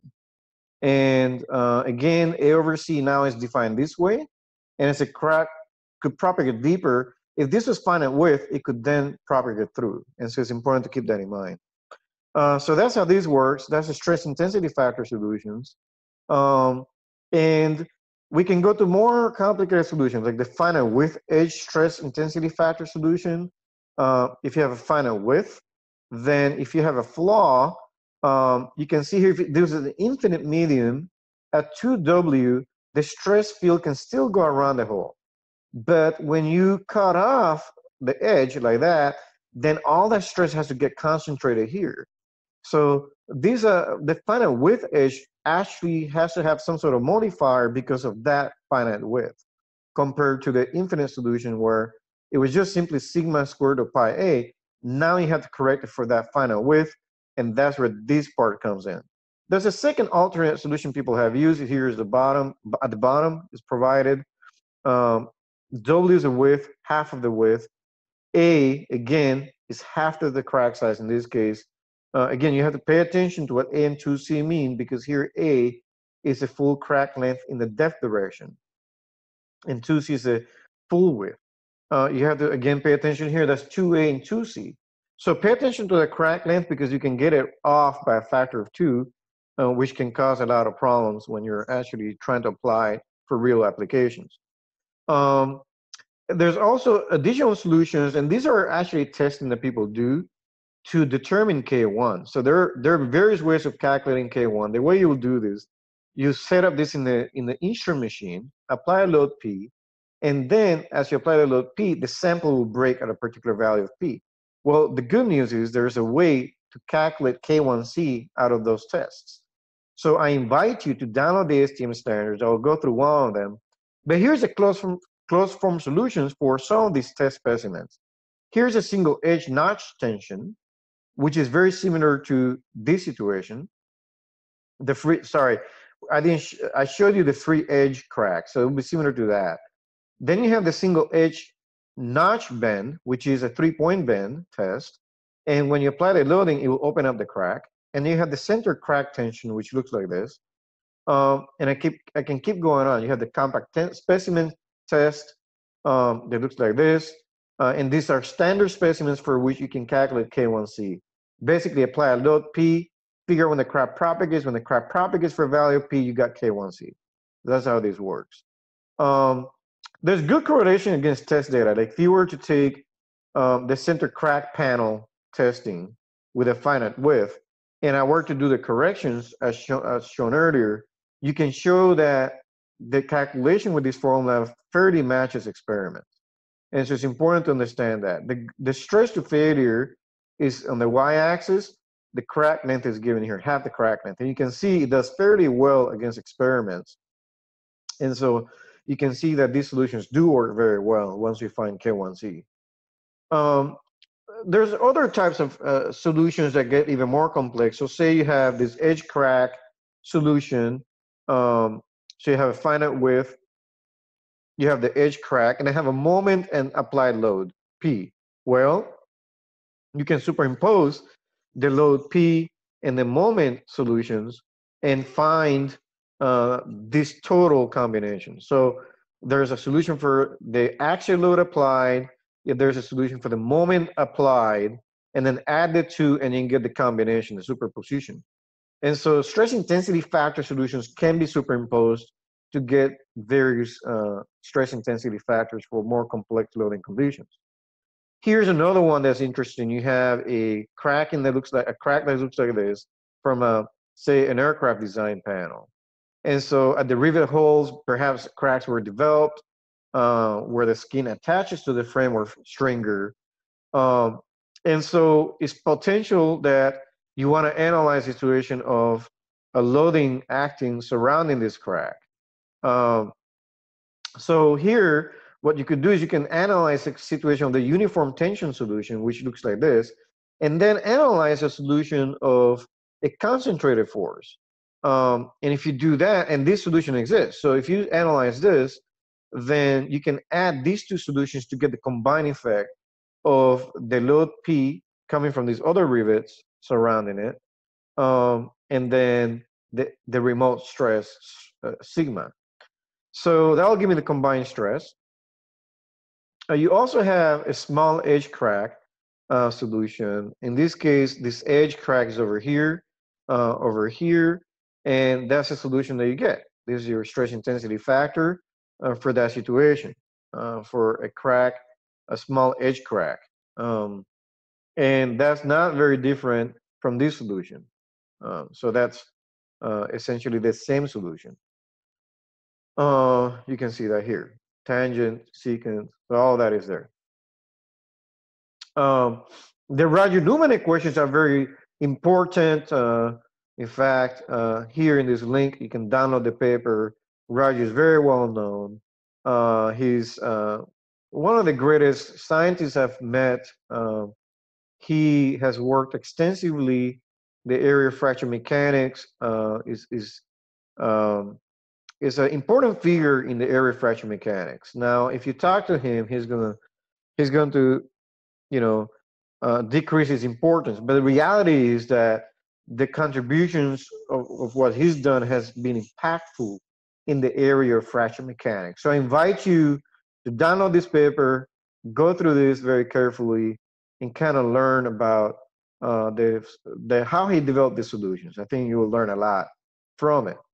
And I believe that he will tell you that all he did was curve fitting. but no, he did a lot more than curve fitting, uh, and and it's been used now extensively in almost every application: composite overwrap pressure vessels, pressure vessels, and, and so forth. So as discussed earlier, I didn't want to get into this yet, but oh, back earlier, but there are three modes of fracture. Uh, there's the mode one fracture, which I discussed extensively. You can derive the mode two solution, which is sliding. The top surface slides against the bottom surface. And then you have the tear part. So this is tearing. The top surface is uh, uh, basically uh, sliding versus the bottom surface.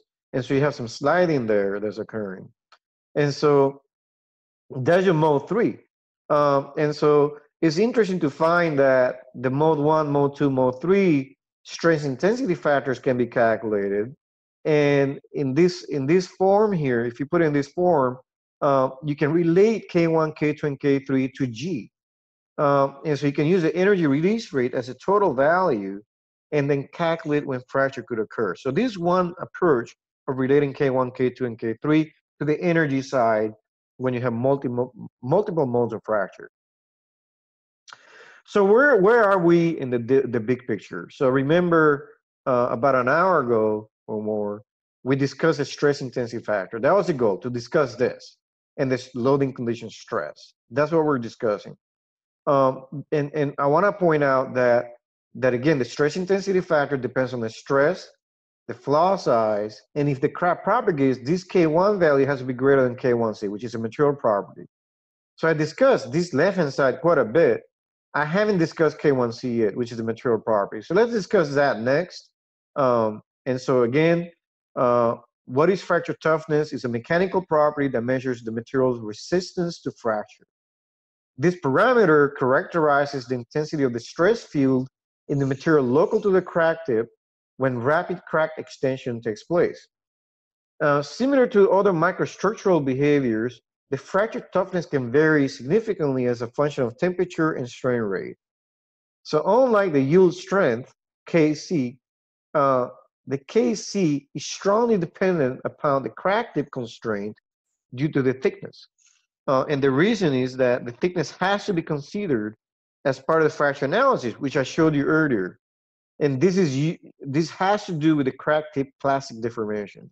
I showed you how the crack tip deformation the crack, tip plastic deformation greatly changes depending upon the, uh, the thickness of the sample.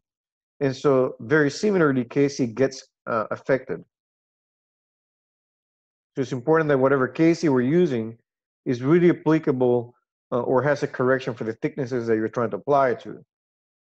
Uh, here's a, a, laundry list of ASTM standards that can be used to characterize K1C uh, you can characterize the fatigue crack growth.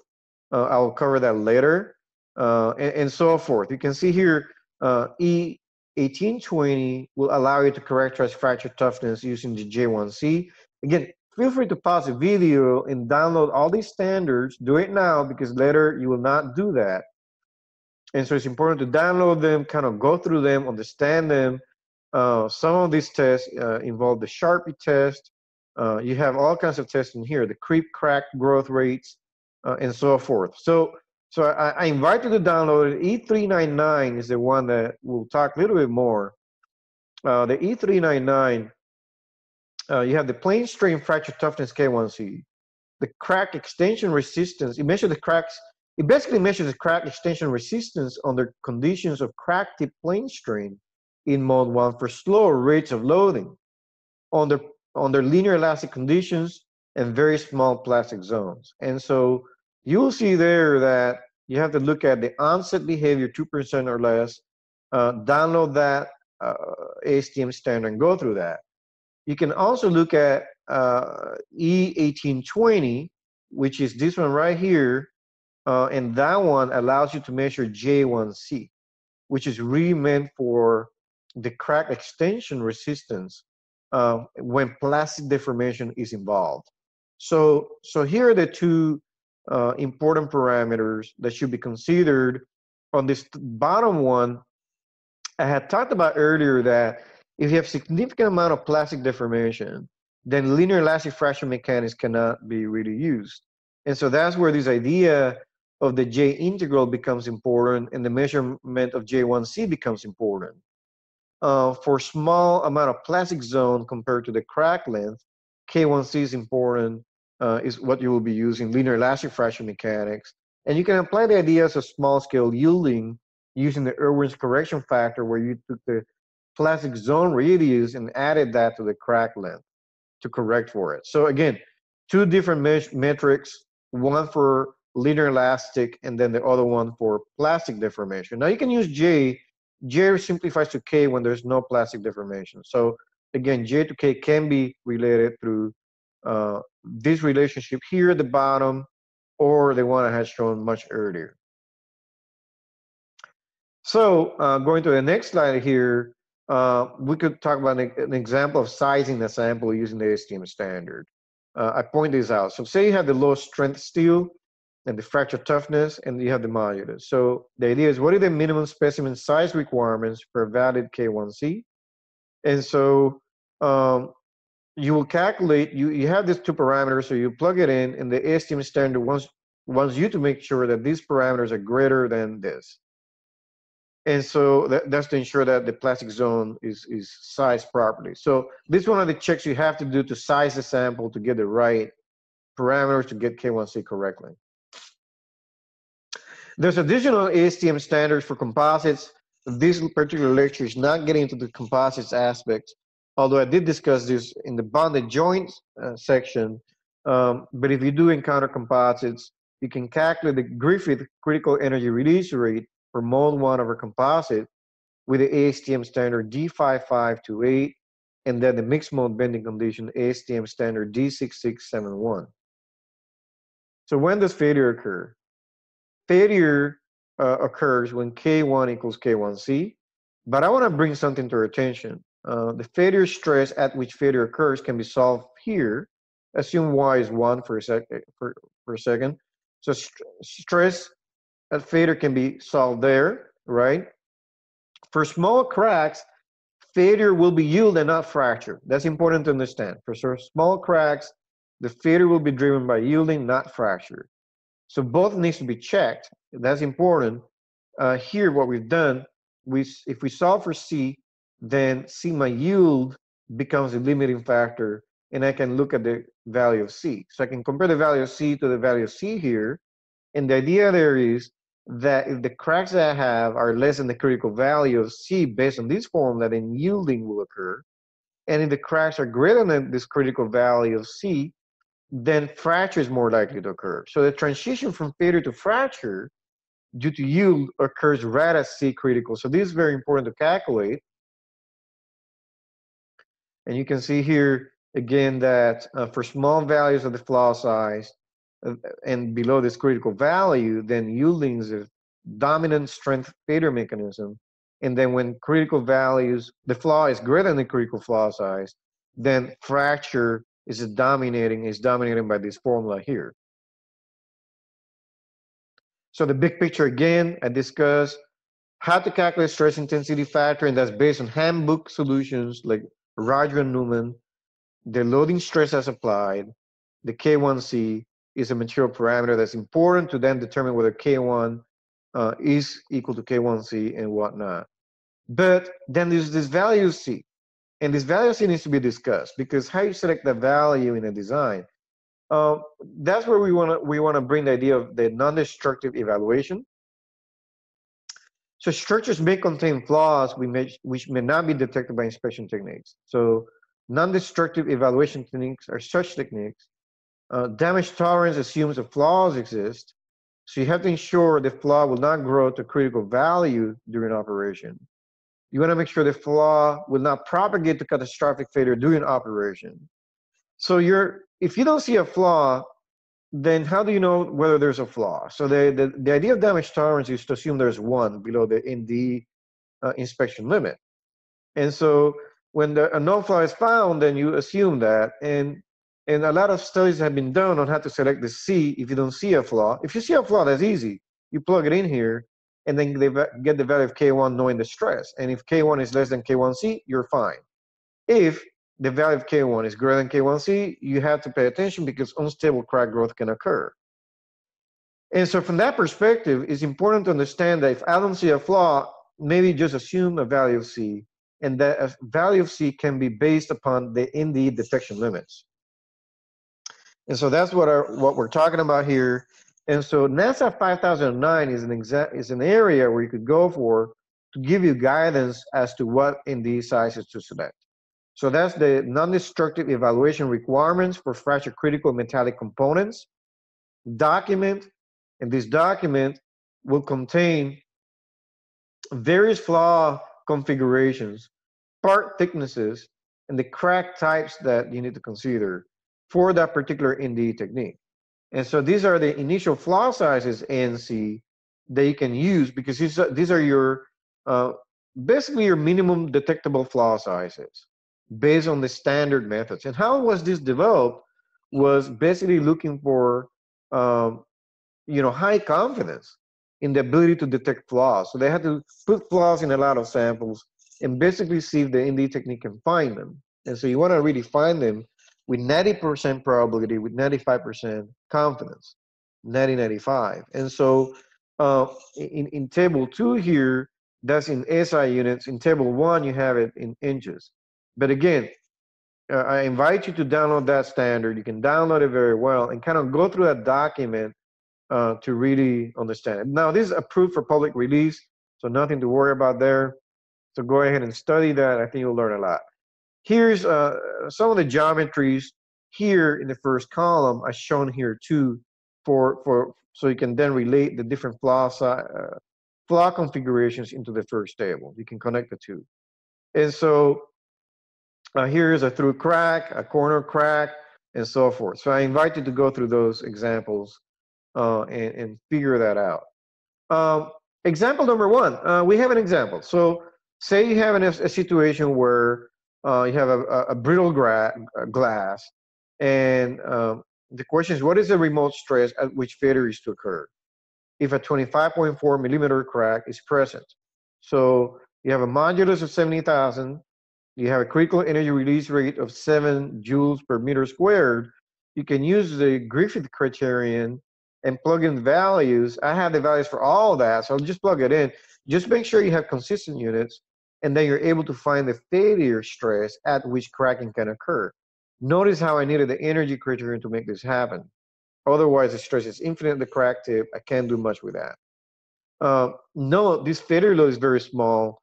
Uh, the failure strength, for example, for or yield strength of our aircraft grade material is 400 megapascals. So this is significant, significantly smaller uh, uh, than that. Uh, example two is, say you have a thin plate of material that contains a center flaw of this length, and is subject to this amount of stress.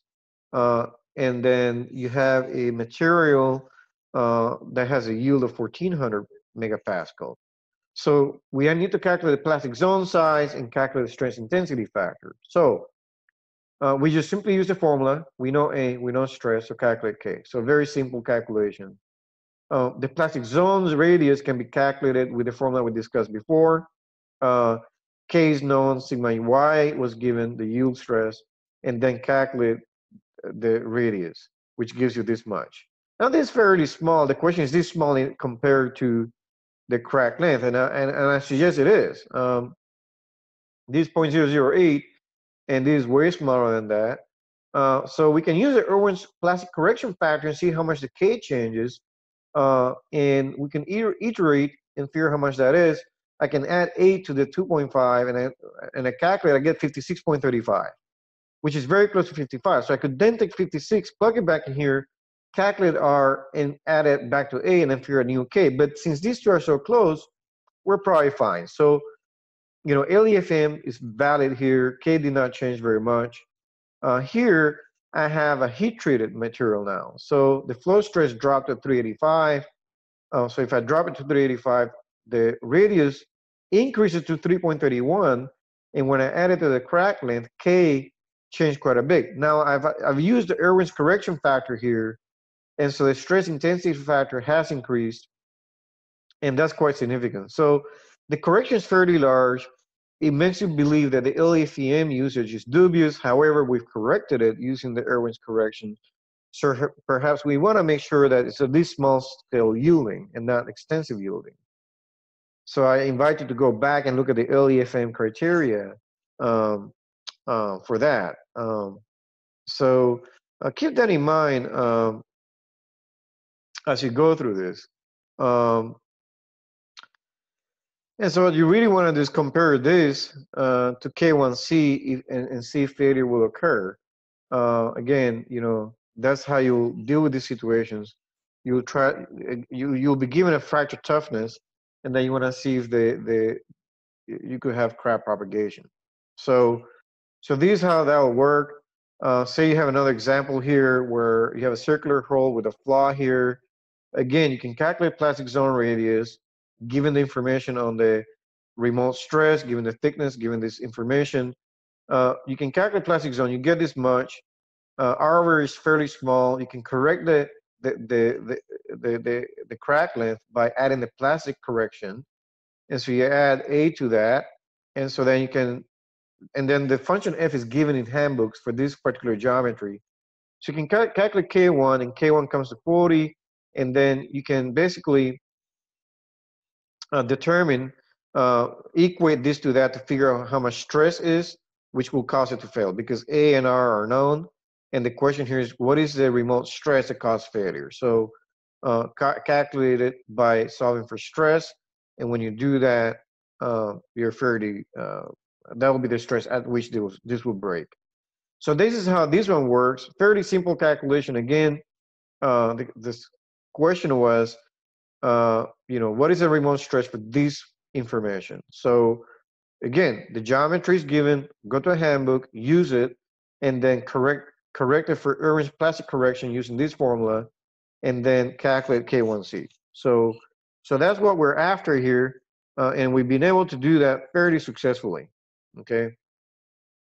Um, and so I'll continue here. Numerical techniques.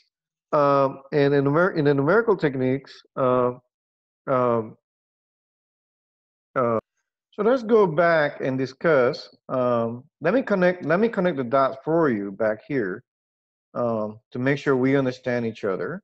So if you find a flaw, then this value C is known. The remote stress is known. You can calculate K1, uh, and then you can compare K1 to K1C. K1C is found through testing. Uh, and um, and so um,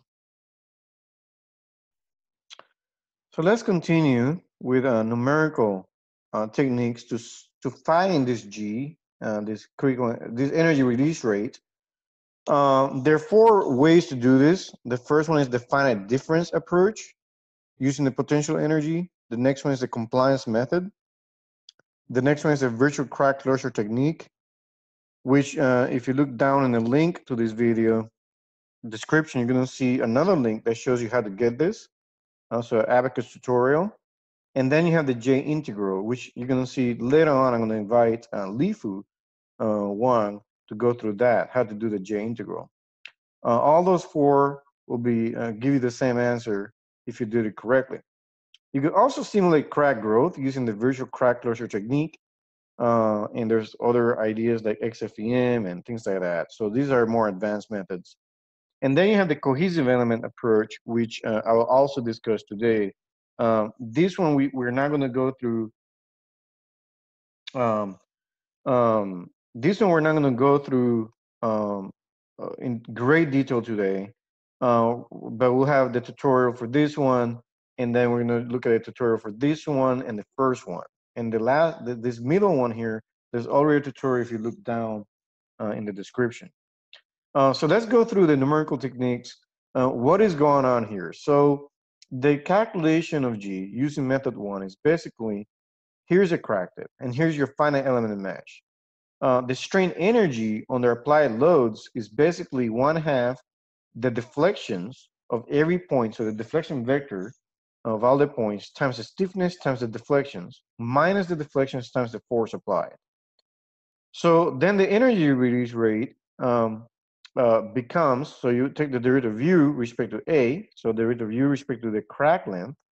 Um, and what you'll find is that uh, you'll get this expression right here. So you're going to get the derivative of k respect to a, okay? Um, because the, you're to have the derivative of q respect to a, uh, and when you do that, you're going to have kq minus f, and then here you're going to have q derivative of f respect to a, but this is zero for a constant applied force. And so then you're left with this expression here. And so what you're really doing then is you have to calculate all the deflections that you have in the system. And then you take the change in stiffness. So this stiffness matrix is a number of degrees of freedom you have across the system uh, divided by, by the crack extension, the crack area. Um, this is a crack extension really. So this was an initial crack, you know, that's your extension delta A. The depth of this page is B, so thickness B times delta A is delta A there. Um, and so G becomes this calculation. So you can do that with finite elements very simply. Um, and and all you have to do is really calculate, uh, keep the same number of elements and the same number of nodes. Just shift the node. Can you shift that node a little bit back uh, to represent new crack length. And then you can just use this calculation very simply. Um, that's one approach. Method number two is really looking at the very definition of energy release rate. You have the strain energy that's stored uh, due to a crack length A. You extend that crack length a little bit, and the strain energy changes. And it changes because there's energy, energy released due to the crack extension, since that energy went into creating new surfaces. So then you divide that by the uh, change in crack length uh, or area, and this ratio gives you the energy release rate or the energy that was released to create the new, the extension of that crack. So that is one method, and I'm going to discuss that method on how to apply that in in in Abaqus. So Abaqus has the ability to calculate. So you basically create your mesh. This is your mesh. You apply the loads here, at this point and this point, and then uh, you can create three models: A naught, A1, with different crack lengths. So these are crack length. Uh, make your crack length A naught, A1, A2, and so forth. But make A naught, A1, and A2 is fairly small relative to each other. So the A naught, A1, and A2 are are very close in value, right? So you're gonna keep those very close. And so once you do that, you can Abaqus will actually give you the value of u, and that's A L L I E. It can give you as an output for the whole model. So you plot u for the total model for each of these crack lengths, and then this slope here, this slope here, really gives you this value of g. Okay, this is how you do it. Okay. Um, and method three uh, looks at compliance. Uh, it's fairly similar to this method, uh, not very different. Uh, but in this method, um, you're looking at uh, the compliance. So compliance is delta divided by P. Uh, you have a load applied P, you can measure delta, the deflection. And to keep that in mind, uh, that's your compliance it depends on the crack length because the longer the crack length, the longer the crack length, the easier to pull that up. And so the compliance does change very simply. Um, so you want to do that for three crack lengths. And so that's your compliance, that's your crack length, the crack length, and you calculate that compliance. Once you have the compliance, uh, you can then calculate G by using this formula. So you have this slope, you have this slope here for the same load P. You're doing this for the constant load P.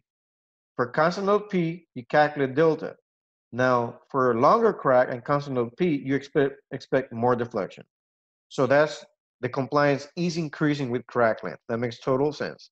That slope, this slope right here, is the one you're going to use in this calculation with the constant load P and the thickness uh, B of that plate and that'll give you G. That's method three, and it works really well. And what I like about these two methods, they're closely aligned with test standards. You can actually model the test standards, and um, you can actually get uh, moving. And so there's another method. The fourth method is called the J integral method, and the idea is that you're um, basically taking a uh, uh, the integral uh, a path independent contour integral around the crack tip. And so uh, that calculation involves you have the strain energy, which obviously stored around this body of material, this little piece. I'm doing, I'm doing an integral around this volume.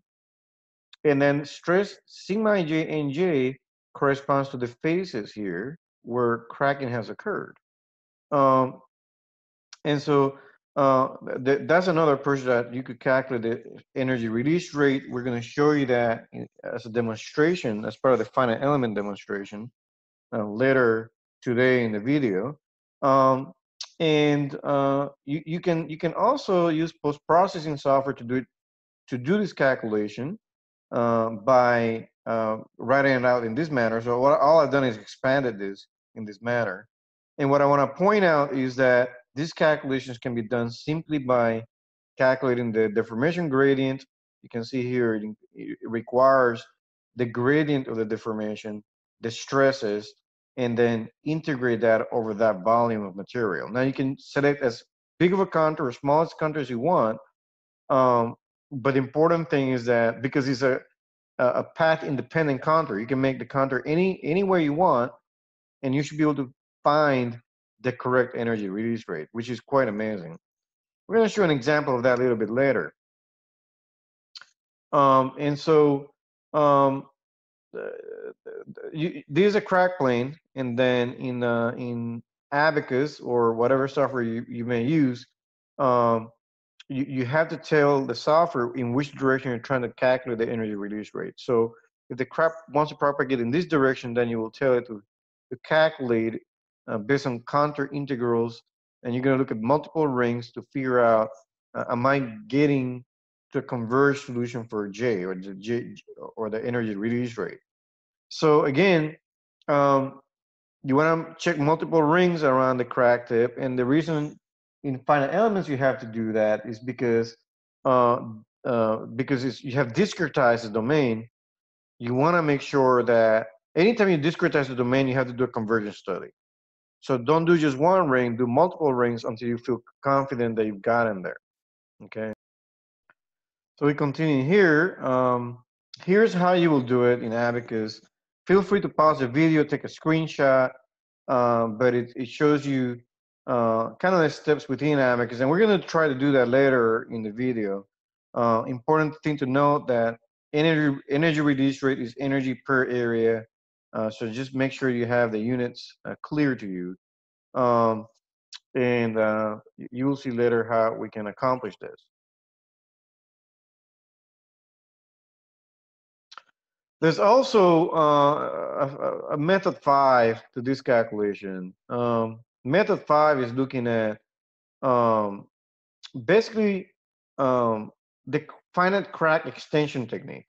Um, this method requires two finite element analyses. The change in strain energy is calculated in this manner, and then the change in size is calculated in this manner. Uh, but this, these are the original idea, and then it evolved to the virtual crack closure technique, uh, which allows you to do it just in one FEA analysis. It does not require uh, specialized elements uh, like you're going to see later in the video. You can simply do VCCT, virtual crack closure technique, without having to extend that crack size. And so the idea is that it allows a direct calculation of the strain, strain energy release rates for each mode in this manner um, for each node along the crack front.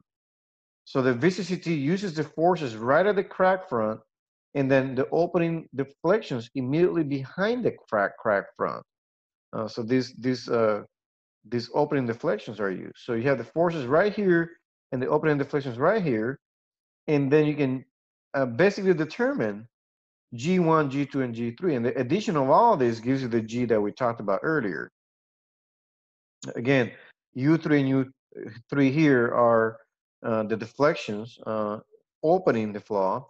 U1, U2, and U2, U2 here.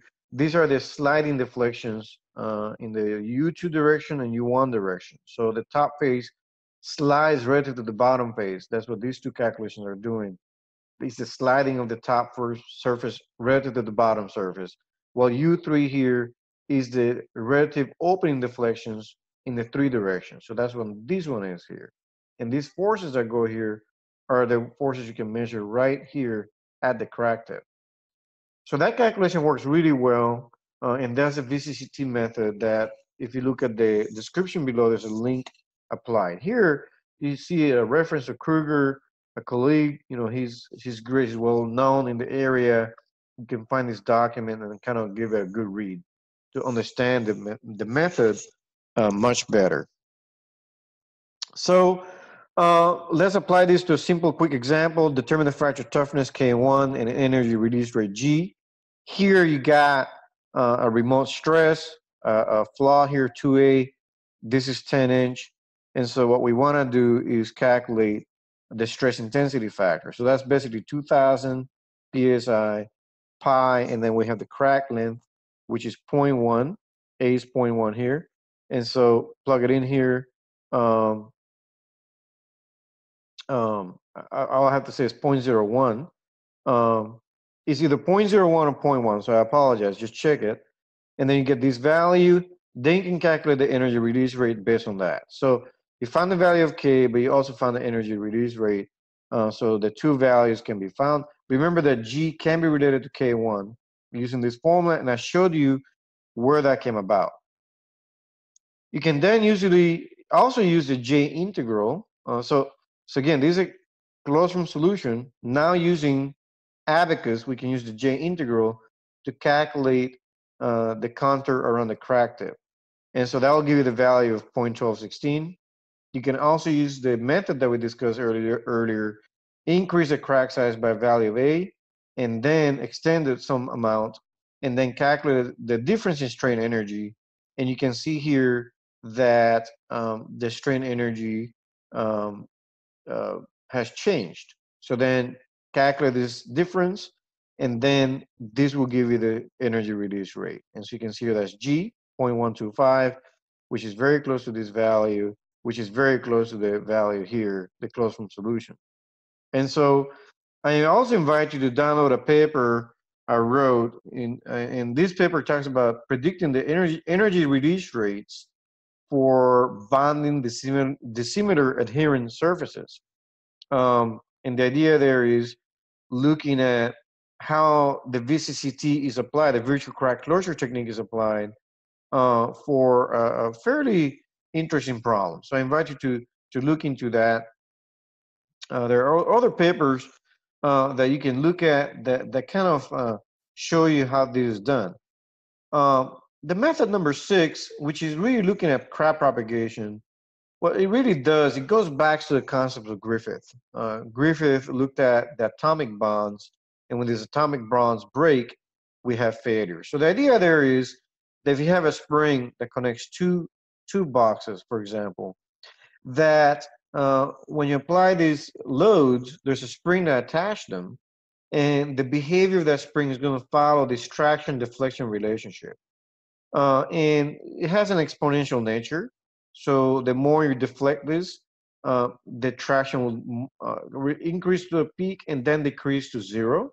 Um, the area under this curve is a, is the energy release rate. So that's the beauty of this is that you're able you're able to connect the separation of two blocks with a spring to the energy release rate, and also you're able to, to attach it to some sort of failure metric, strength metric. Okay, so that's very interesting uh, to look at. Uh, now consider two plates, two plates, and let's connect them by something called interface elements. These interface elements are a continuous distribution of infinite number of springs. They're connecting the top and bottom surface. There are infinite number of them, infinite number of them. And all these top and bottom surface are doing, they're actually coincident. I'm just showing an exploded view, but they're initially coincident. And as loading is applied, then the two surfaces can start separating.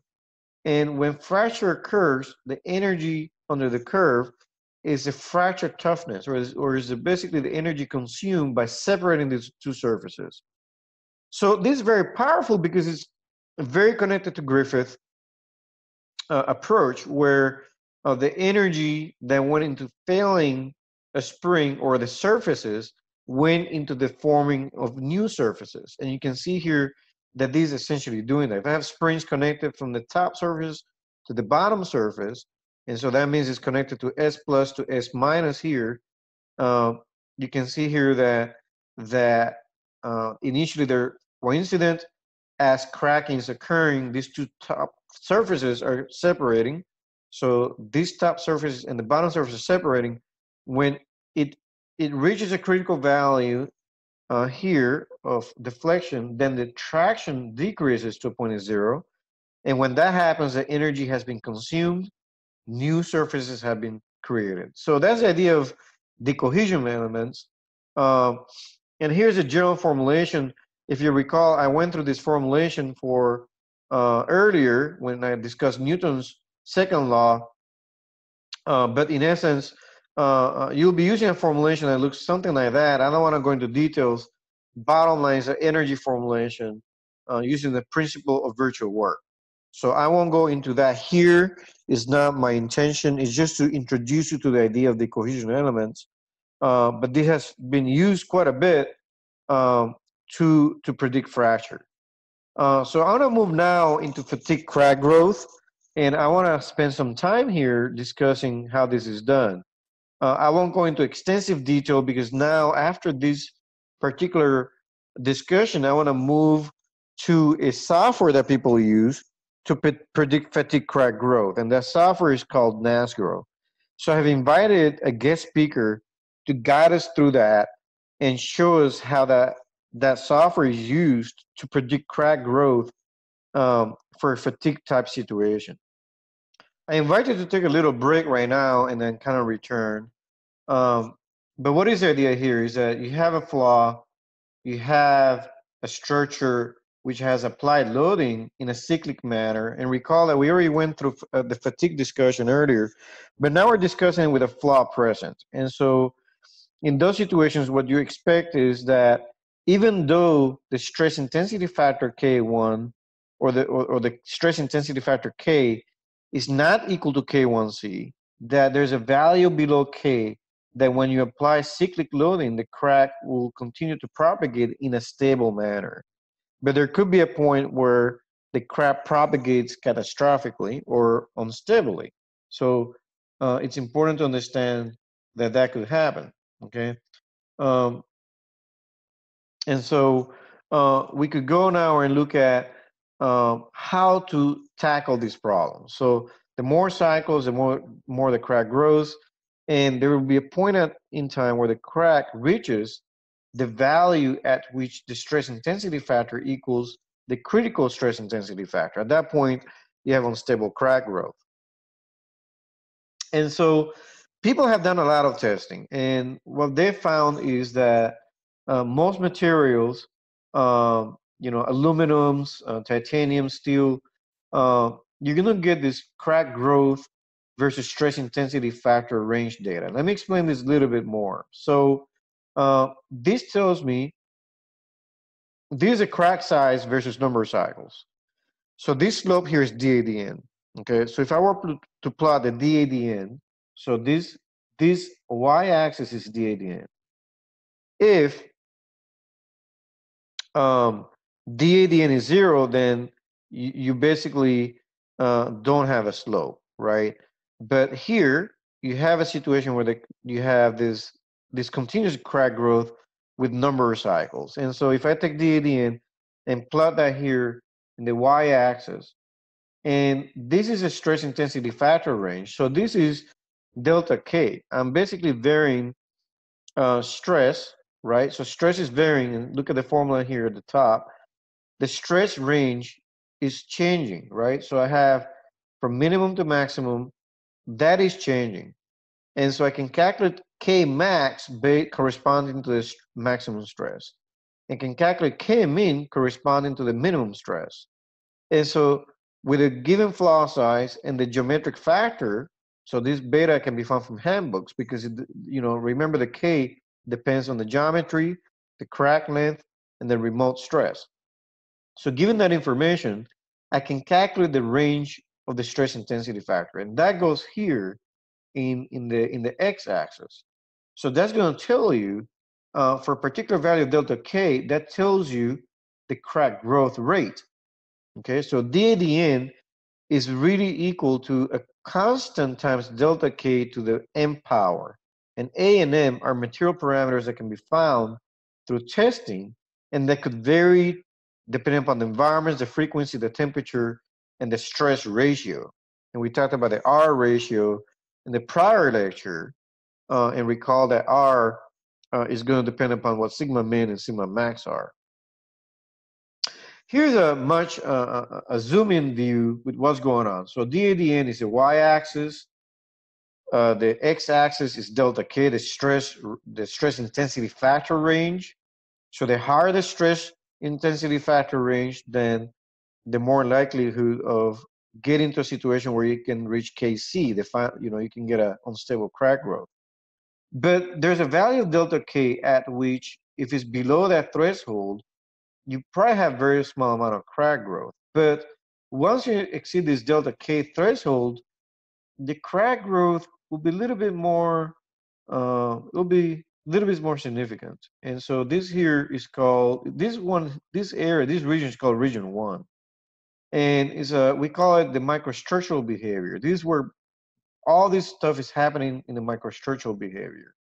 Um, and then suddenly you can have a region two where we call the, the stable crack growth because it's fairly stable. You have a slope.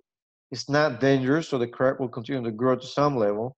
Uh, it's a macro behavior. Uh, you're gonna see striations. Uh, you're gonna see those striations, those beach sand marks we saw before.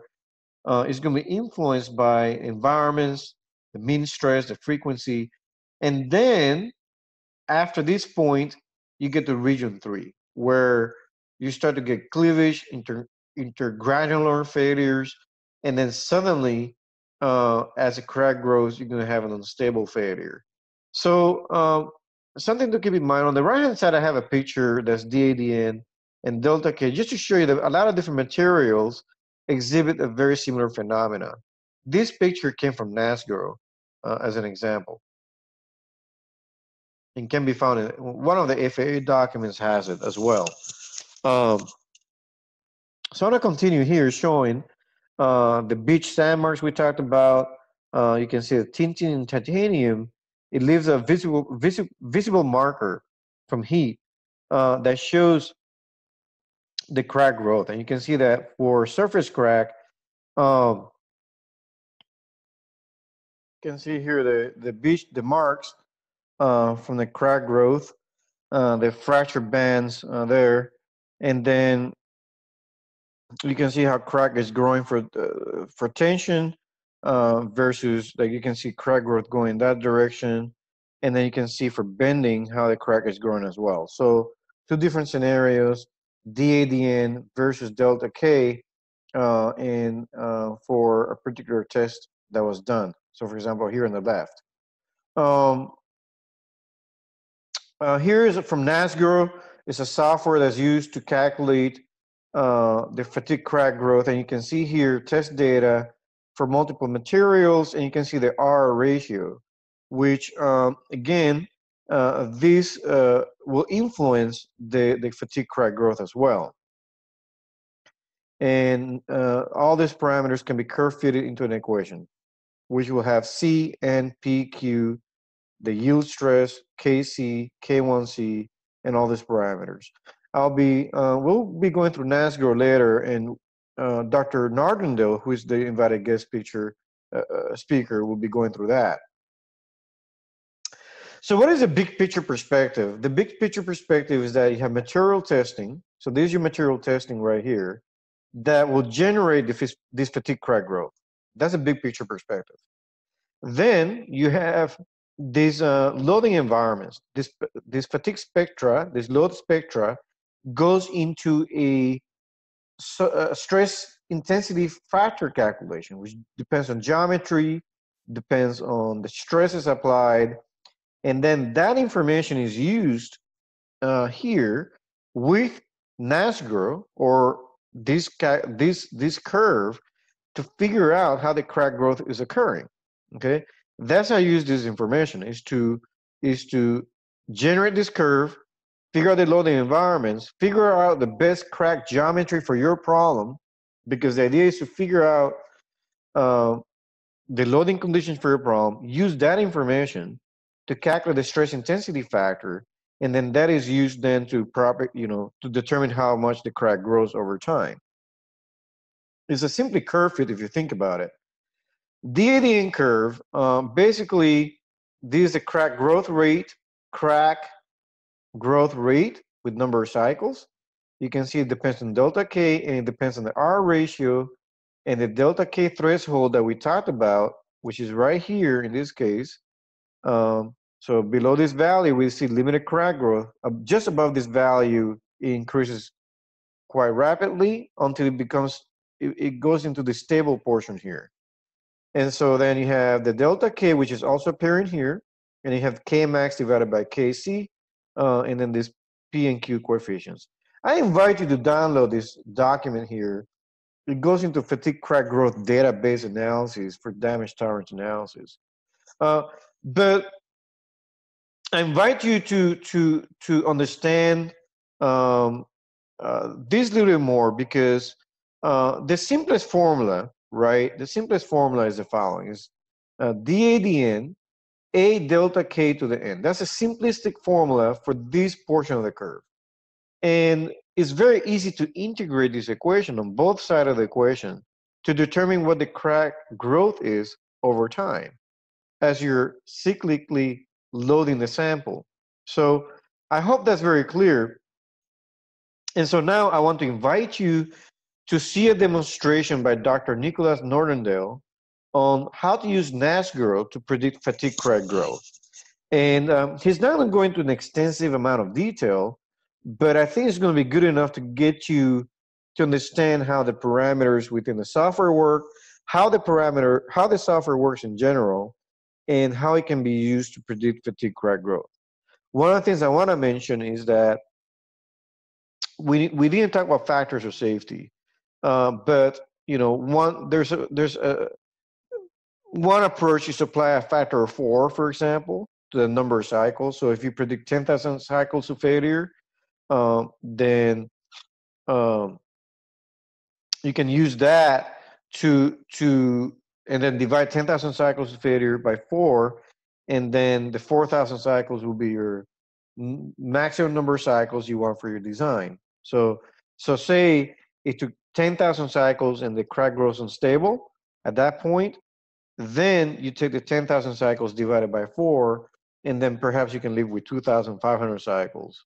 Uh, so then you want to design your structure, um, you know, uh, to either inspect the flaw size so it gives you the 2,500 cycles, or beef up the structure to keep uh, the number of cycles to failure um, to that end.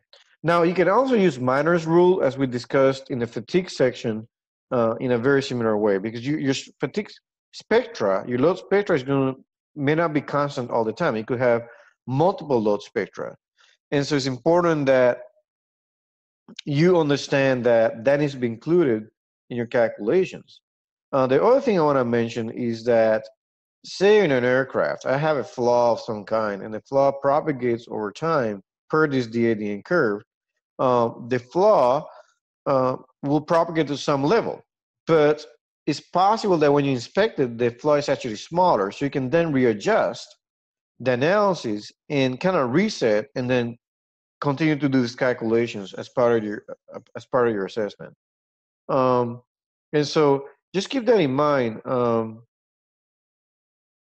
um, so uh, just want to keep that in mind that that uh, inspections can actually help you to reassess this kind of analysis. So let me turn it over to Dr. Nicholas Nordendale. We're going to have him uh, help us go through this tutorial. I want to introduce you to Dr. Nicholas Nordendale. Um, he has extensive finite element analysis experience. Uh, he used to work for Abaqus or Dassault Systems. And um, he also uh, has applied fracture mechanics to a number of applications uh, across the industry. So I thought it would be a great idea to invite him as a guest and have him guide you through um, the fracture mechanics concepts using NASGRO, which is one of the software that is being used in industry to assess the fatigue crack growth. So, um, uh, Nicholas, can you hear me over there? Yes, I can. All right. So I pass it to you. Thank you for allowing us to um, come into our uh, our show and uh, showing us how to do this. All right. Well, thanks for having me. Uh, so yeah, uh, as Vinay said, uh, my name's uh, Nico Nordendale, and uh, I'm going to go through some examples of how you use NASGRO, which is a, a commercially available software um, to basically do calculations to calculate things like stress intensity factors and to predict how cracks will grow uh, given uh, known material properties about how cracks grow through that media. So as you see on the screen, this is the, uh, what pops up when you open up NASGRO. Now within NASGRO, there are several different modules that you can open that will do different things. Uh, for example, you can look at uh, which is uh, fatigue crack growth. You can look at NASSIF, which is uh, a calculator to calculate what the stress intensity factor is of a given geometry and a given applied state of stress. You can use NAS CCS to calculate critical crack size. Um, probably the most common uh, module within that is NASFLA, which is going to allow us to pick a geometry, material, and applied loads and from that, it'll be able to iteratively predict how the crack will grow through those applied loads, uh, either until it completes all the loads or until it reaches some form of failure, either through uh, net section stress failure, which would be an actual strength failure, or a crack that breaks through a given geometry, or the really concerning failure modes, which are unstable crack growth or a stress intensity factor that exceeds a critical value. So we'll go ahead and if I click NASFLA here, this module here will open. I'll just move this over to the side. So this module here is NASFLA. And so the first thing that's going to pop up is going to be a selection for how to pick which geometry you want to look at. So if I open this, there are lots of different types of geometries you can look at. You can look at a through crack, you can look at corner cracks, embedded cracks, or some of the most common which are surface cracks. Uh, surface cracks are what we would typically think of as uh, a semicircular or semi-elliptical flaw that starts on the surface and moves uh, into the bulk material. Uh, so let's look at one of the most common uh, cases. Um, uh, this is called SC30.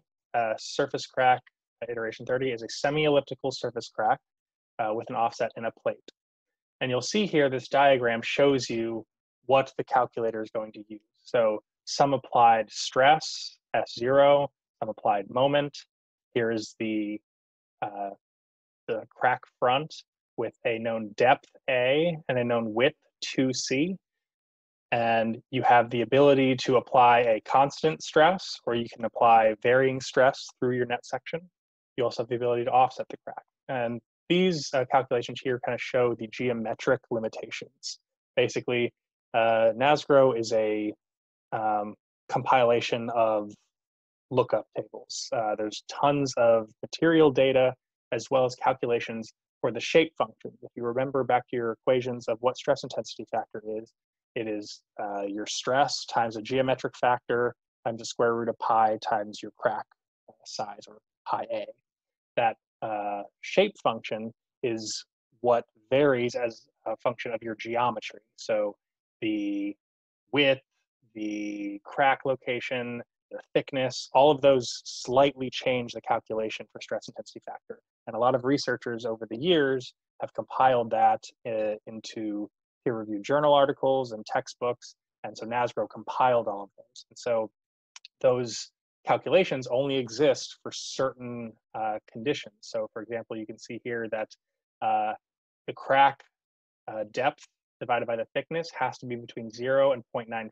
If you try to input values that violate this, NASGRO will abort and tell you it can't calculate uh, values outside of that. Let's go ahead and select this very common.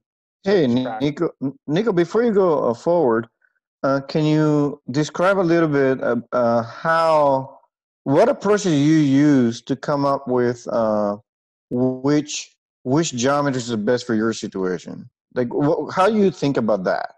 Could you tell us a little bit about that? Sure. So, first of all, it's probably most common that uh, you know you you want to look at flaws either because you have observed a flaw existing in a certain part that you're looking at, or the type of manufacturing that you're doing is likely to uh, is likely to lead to those type of flaws being generated. In uh, metal parts, uh, one of the most common workmanship sensitive uh, processes that can be done on metal parts is welds. And welds are typically uh, more likely to generate flaws because you know it depends on whether or not a manual uh, welding process is being done through a welder uh, or it has a machine that's doing the welding. Uh, either of those cases, the weld is, uh, it, you know, there's variability from weld to weld as you do go through manufacturing. That's more likely to have a flaw in it than, let's say, you know, uh, plate material or forged uh, metal parts, which have much more process controls in place in order to make sure the manufacturing is uh, repeatable and forms a nice polycrystalline material. So welds are very commonly uh, generating surface flaws. And so that's why in most industrial applications, uh, there are some forms of non-destructive evaluation like x-rays, dye-penetrant inspection, eddy current inspection, uh, magnetic particle inspection. All, all, of these different inspections allow for us to either do surface detection, uh, like visual or dye penetrant, where you just smear a dye over a surface and then you use like a black light in order to make that uh, dye kind of pop out at you. Uh, or if you're using things like X-ray or uh, ultrasonic inspection that can go through a solid, uh, those are called volumetric inspections. Uh, that can detect things like embedded flaws, things that exist inside that wouldn't exist on the surface. So typically, um, there are standards uh, depending on the industry, whether it's aerospace, aircraft, automotive, marine. There are standards that will stipulate the type of non destructive evaluation that you have to do uh, in order to detect flaws and the typical limitations of those techniques for how small of a flaw can they reliably detect. So for things like dye penetrant, dye penetrant inspection can only detect the surface. And so uh, if I'm looking at a plate, something that doesn't have a variation in geometry uh, in, you know, if you look at my cursor in that direction, if there's no variation in that direction, then a plate is appropriate. If I was looking at a tube or uh, certain type of pressure vessels that have some curvature to it, curvature can have an impact in the geometric factor of the calculation. And so it might be more important to look at something like a semi-elliptical surface crack in a hollow cylinder that's axially oriented or that's uh, circumferentially oriented. There are many options for how you, you know, depending on the geometry that you're looking.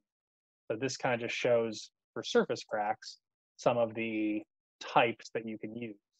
Uh, for any consideration where if you think that the part is big enough where the geometry isn't really going to affect the solution near the really localized stress intensity at the crack front, then SC30 or SC01 are the most common ones that are used typically in practice. So let's say you select a surface crack and you have these requirements here first step is usually the simplest. It's just to input what your geometry is. So let's say we have a plate that is a thickness 0.1 inches. And if I want, that's the thickness here, T. Now I'm going to input the width. And I'm going to make this large enough to where it's not going to impact what's going on at this crack tip. So I'll just say that this is 10. And if this is a centered crack, B is just half of W, so I'll say this is five. Now, depending on the version of NASGRO you have access to, uh, some versions have implemented the NASA standard based on NDE. If you have an older version of NASGRO, I think it's earlier than version 8, this option isn't there. So you have to input these manually. But essentially, the way this works is you have a depth A, and then you have an A over C, which describes the shape of that crack. If A over C is 1, then A is equal to C, which means that the crack is perfectly circular. If you do a smaller uh, A over C, it can, may become more elliptical, where the length uh, or the width of the crack is actually uh, longer than its depth. So if this is 0.1, let's say that this is an appropriately small flaw that's maybe you know, 0.01 inches. And we'll start with something straightforward and we'll say the crack is perfectly circular. And we'll say one. And so there's some other options here uh, that kind of go beyond uh, the basic use of NASGRO, so I won't touch any of those right now. But that's all you really need to do at a bare minimum for inputting of the geometry. Hey, Dr. Nordendale. Um, so uh, as an example, I know this looks like a plate, but say you have a cylindrical tank uh, or some some tank of some sort, like a fuselage. Mm-hmm. Uh, is it true that I can I can still use this solution procedure because I could approximate it by the width being very large? Is that correct? I can look at it from that perspective. Use this simplified geometry for a more complex situation like a fuselage tank. Yes, definitely. And in fact, I would encourage that mostly because uh, you know there are, as you saw, some of the other options that I put in here. There was SC04 and SC05, which are for you know flaws in some type of hollow cylindrical structure. Those uh, geometries do have limitations here that control the thickness of the fuselage compared to the radius. And so something as large as like an airplane fuselage or a launch vehicle diameter, something that's that large, um, in those particular cases, you know, where something like thin-walled pressure vessel equations would apply, or even just in the case where that radius compared to the thickness is uh, too large, uh, those geometries might not actually be applicable. So in those cases, the curvature is so slight compared to the size of the flaw. And in this case, we're looking at a flaw that's, you know, a hundredth of an inch in depth. So a radius of curvature of, you know, something on the order of 70 to 80 inches, you know, feet of, of radii, um, that curvature would have negligible impact on the geometric factor. So it's a really good point. So after you're done uh, putting up the, the geometry, you would then go to the material. So the simplest thing to do is if you know the specific material that it is you have to look at, is to simply click this button to show material list. Now, NASGRO is a really great compilation of uh, strength and fracture and fatigue crack growth properties as a database. And so there's a lot of different materials go on here. And so let's just look at a common aluminum. Aluminum is really common. So those are all going to be under here, 1000 through 9000 series aluminum. And from here, you can see which series you want to pick. So one of the most common aluminums you probably see is 6061. That'll be under 6000. You'll see that there's two of them here, and you'll see there's a dash T6 or a D or dash T651, depending on the heat treat you want to look at. T6 is pretty common, so I'll look there. From here, Oh, go ahead.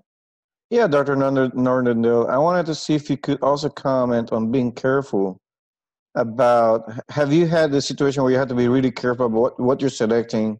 You know, sometimes something may look close enough, but may not be the right option. Could you comment on that a little bit? Absolutely. So, uh, in practice, um, these are good numbers to start with, but in any case where in practice I had to use this to uh, be involved in an anomaly investigation or uh, disposition of a hardware nonconformance, something really important. Every single time I would run these by a you know material science expert to verify that the strength, the fracture toughness, the crack growth parameters are all uh, accurate and or bounding of test data of the hardware it is you're specifically trying to look at. So all of these uh, properties will get you, you know, close. So if you know the material is 6061 T6 and you're sure that's the heat treatment, then you know that's you're in the right ballpark. But from here, you can see really closely that the first one is a plate or a sheet uh, where you have uh, you know LT or TL or just longitudinal transverse or transverse longitudinal and lab air room temperature versus something that's extruded and you, you see these different uh, extrusion directions this one is also a weld. So, you know, these will change the parameters that you're looking at. And all of these uh, parameters, uh, all the properties come from actual ASTM tests that had to be performed uh, under the rigorous ASTM standards to make sure that they're valid. And enough samples have to be generated such that you have an appropriate statistical significance in those values. Even still, uh, whenever you manufacture parts, um, whenever you have hardware that's built, the the raw stock of the material will come with material material certificates of conformance, which come from the actual uh, like the forging houses or the uh, metallurgical houses that provide that material. They have to provide that data that shows yes, this you know aluminum meets these requirements. It has these minimum strength, elongation, fracture toughness properties uh, that at least make sure that you're uh, analyzing to the correct values. So for this particular case, if I just click on these values and I say okay, a number will pop up. Uh, something of note, you'll notice that at the beginning of all of these, there are letters and numbers. That's because when all when I click uh, OK, a specific material code will exist for this particular material, and that code will be M6AB13AB1.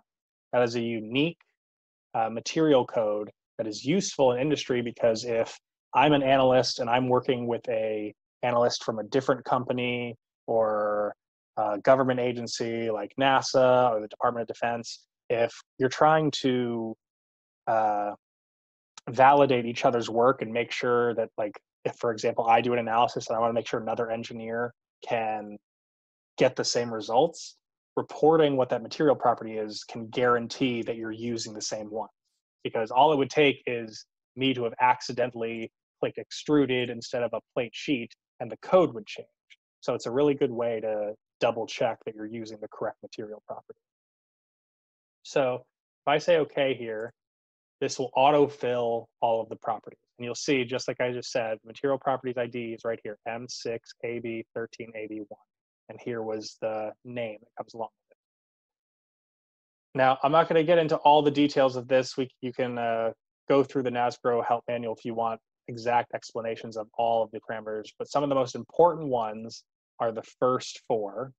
This is ultimate tensile strength, yield strength, then you have K1E and K1C, where these two are fracture toughness. This is a fracture toughness in a uh, plane strain condition, and this is fracture toughness in the plane stress condition. Um, these parameters have to do with the strength, uh, or not strength, the fracture toughness increase that you can achieve uh, when you go from a plane stress to a plane strain condition, or vice versa. Uh, C and N are your crack growth parameters, uh, where DADN equals C times delta K to the N power. P and Q are transition coefficients that have to do with how your uh, crack growth parameters accelerate or decelerate in zones one and zones three, which I'll show you in a minute. Uh, and you have a few other parameters that I'm not going to get into much here. Uh, as far as failure mode, a good practical um, use is to make sure that at least these first two are usually checked. And this is where, as you cycle through um, your loads that you'll define in the next page, it will always check the stress intensity factor and the net section stress that is being calculated in front of your crack. And it'll check that against these properties that you've defined. Whichever uh, hits first, which uh, stress intensity factor that exceeds your fracture toughness, or a net section stress that exceeds uh, a term called your flow stress, and your flow stress is the average of ultimate tensile strength and yield. Whichever one goes first is what leads to failure. Now, it's important to know that in practice, you should know that NASGRO is still just a calculator that needs uh, an intelligent engineer to govern what it's doing. There are some cases, depending on the material that you're using, the geometry that you're using, there may be cases where the net section stress uh, may exceed your flow stress, and you, the engineer, might decide that that's acceptable. What that means is that your part is yielding. Now, if you're only yielding at a tiny part in front of your crack tip, that may be acceptable if that just means that your load redistributes. You know, we know in um, if something you had like a pressure vessel or a tank, that may just mean that there's a tiny region in your surface that's yielding and the load will redistribute around. That may be acceptable. In that case, uh, with great discretion on your part, only if you understand the physics of what's going on, you can elect to uncheck that. So it will no longer uh, uh, flag a failure in the solution when it uh, gets to that. Now, if you have something like um, a a beam or a strut or a bolt that has a minimum cross section and it's a single point of failure, you don't want to suppress that check. You want to make sure that you're checking, hey, have I gone above what this is capable of withstanding and this from a strength perspective? So general good practice is to keep those both checked. Um, and if you're curious about what this data looks like, you can click this box here and this little window will show up that basically allows you to plot what the DADN curve looks like. And there's some titles and limits you can set here. But if you show the default, it looks like this. So this shows you actual test data uh, with the actual curves that are being used. And you'll see here, these are all the, the properties that exist right here. So all these exist up here. And you'll notice for this case, there are three curves. And your curves are for an R of 0.75, 0.5, and 0.1. R is your alternating stress uh, ratio. Basically, it's a ratio that looks at the loads that you're applying, which we'll look at at the next tab. Basically, you're going to have a different amount of crack growth if you cycle from zero to a peak stress and you go up and down from uh, that you know stress-free condition all the way to peak stress. That's going to cause a different amount of crack growth than if you start at let's say you know something like 50 ksi and you cycle up to 80 ksi. Going between 50 to 80 over and over and over again is a different amount of crack growth than going from zero to 80. That's because your mean stress, which is your maximum minus your minimum divided by two, those that number is different. So uh, NASGRO has um, different R uh, ratios embedded within the software to make sure that whenever you put in a load block of varying levels of stress, uh, it picks the correct crack growth for that case.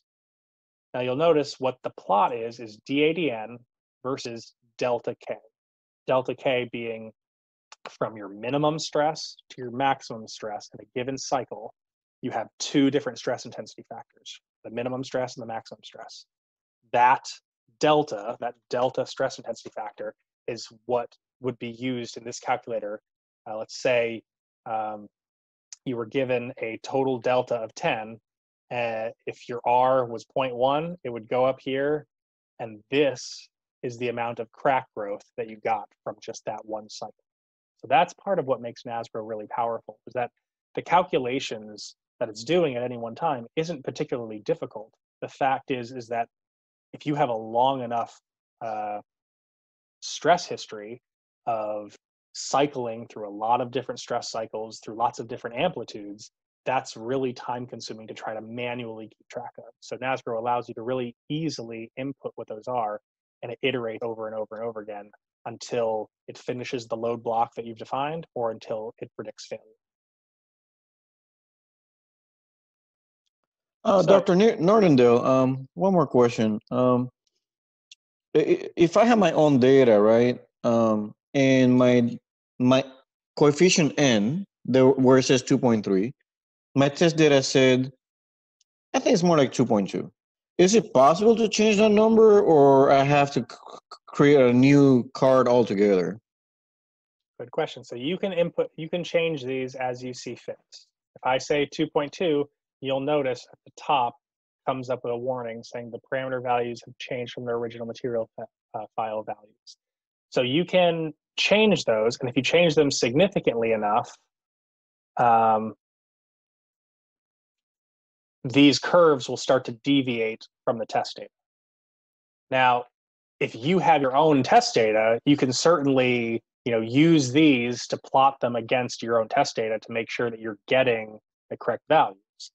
Um, and there are other cases um, that may be used to change that. For example, if you, you know, these are the minimum values, but if you know from the certificate of conformance that come from the metal houses that maybe the minimum yield strength is actually something like 43 and that's been confirmed from test data you can change those as well so you know you're free to change these but just be aware that making those changes is going to deviate from the test data that has been you know calculated from actual ASTM tests.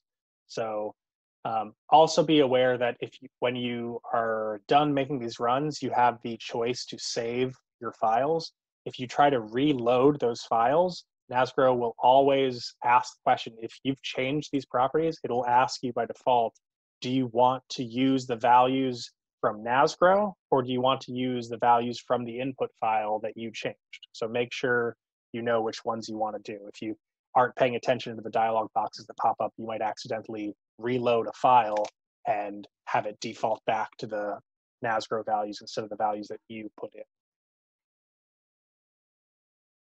So that's all the minimum you need for the material. The next part is the load blocks. So there's multiple ways to handle load blocks, but fundamentally, uh, keep in mind, first of all, that um, need to note what units were being used. You'll note uh, these are all in imperial units uh, or English units, but these are obviously not in PSI. The yield strength of aluminum 6061 is not 41 PSI, it's 41 KSI or kips per square inch. So that means whatever load blocks you put in also needs to be stressed in terms of KSI. Uh, so if I wanted to apply a single cycle of stress, you'll notice there are two sets of stress. There's S0 and S1. To know what those are in any given geometry, you need to go back to the geometry tab and see what the options were. S0 here is your tension stress. S1 in this particular case is the uh, moment or your bending stress. So if I were to assume that this plate is only being subjected to tension, and if I assume it's going from a equilibrium state of zero to a total stress, obviously we can't exceed the flow stress, which is the average of this, so that would be 43.5 or 43. Um, it needs to be some stress below that.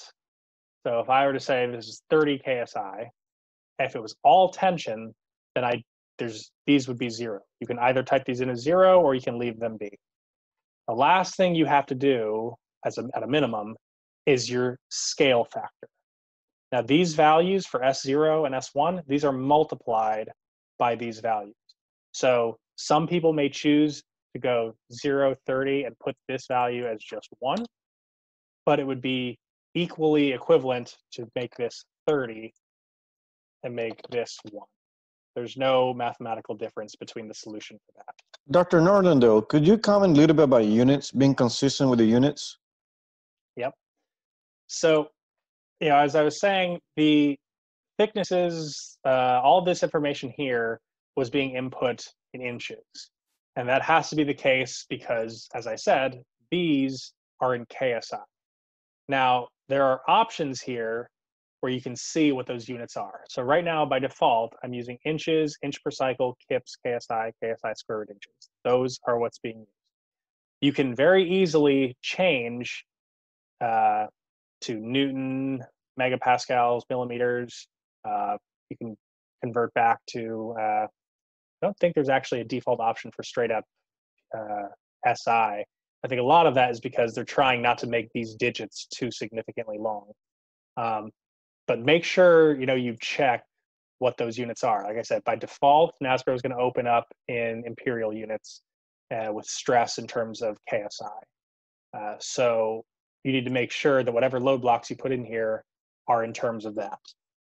Uh, I'll show you an example after I finish this one where the actual values may not be stress. In some cases, like with pressure vessels, the scripts actually give you the option to uh, apply the load, the pressure load, directly instead of actually knowing what the stress is, which could be useful. But for this particular case, you can see from this geometry, tension stress is S0 and bending stress is S1. Now you'll notice it says S0 at T1 and S0 at T2. That is your min and your max. So your min stress and your max stress in terms of your cyclic stresses. Now in this, this is just one particular cycle. Uh, so if that's all I wanted to do, and I'll come back and show you how to add cycles to this after I. oh, go ahead. And Dr. Nordendale, just to make sure, right? So one cycle is from zero to 30 back to zero, right? Correct. It's a full reversal of uh, the load, or I'm sorry, it's a full um, amplitude. So if you look at a like a sine wave, it goes you know from zero all the way back. So uh, the next tab is a build schedule. This allows you to do things like if you know what the service life is of the hardware that you're trying to design, there may be requirements per your standards that say, hey, you have to show that your part can survive two times its service life or four times or 10 times. This allows you to kind of customize what that is. Maybe if there's multiple rows here of apply one cycle of this, you could apply 10 cycles of some other amplitudes. You can kind of build that up here. Uh, the easiest way to do repetition is to just put an arbitrarily large number here. You can go all the way up to just south of 10 million if you wanted to. So as it is, if I leave this alone and I make this just one, when I run this, it is literally going to apply one cycle from zero to 30 back down. Now, that's uh, going to be the end of that solution. And if it survives, it'll tell me what the new flaw size is from that. So if I wanted to save that and run it, it's just one button. Now, if you want to save it as an input file, you say yes, and it'll give you an option to type that in. Uh, that opens there. So you could put an input file name here, test one. They save. And these are the results. So this is uh, this is just showing you in a window what the results are. There is a separate uh, file that gets opened uh, to to save your output. There's uh, dot output files that will save all these results. Uh, but you'll see here the final results. It'll say critical crack size has not been reached, which means two things. First, it means that your peak stress intensity factor did not exceed either K1C or K1E. It means that your net section stress did not exceed your flow stress. It also means that you did not break, this crack did not grow through this thickness.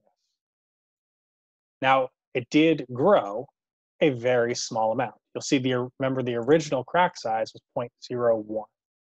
The new crack size from one cycle is 0.0100004. So that means the crack only grew what four times one four times 10 to the one two three four five six seven? So the crack growth was extremely small for that one cycle. Now it's very easy to make changes to that. Let's say i wanted to see when this crack actually did something interesting, either broke through or goes unstable. So I might just increase this some arbitrarily large number of times.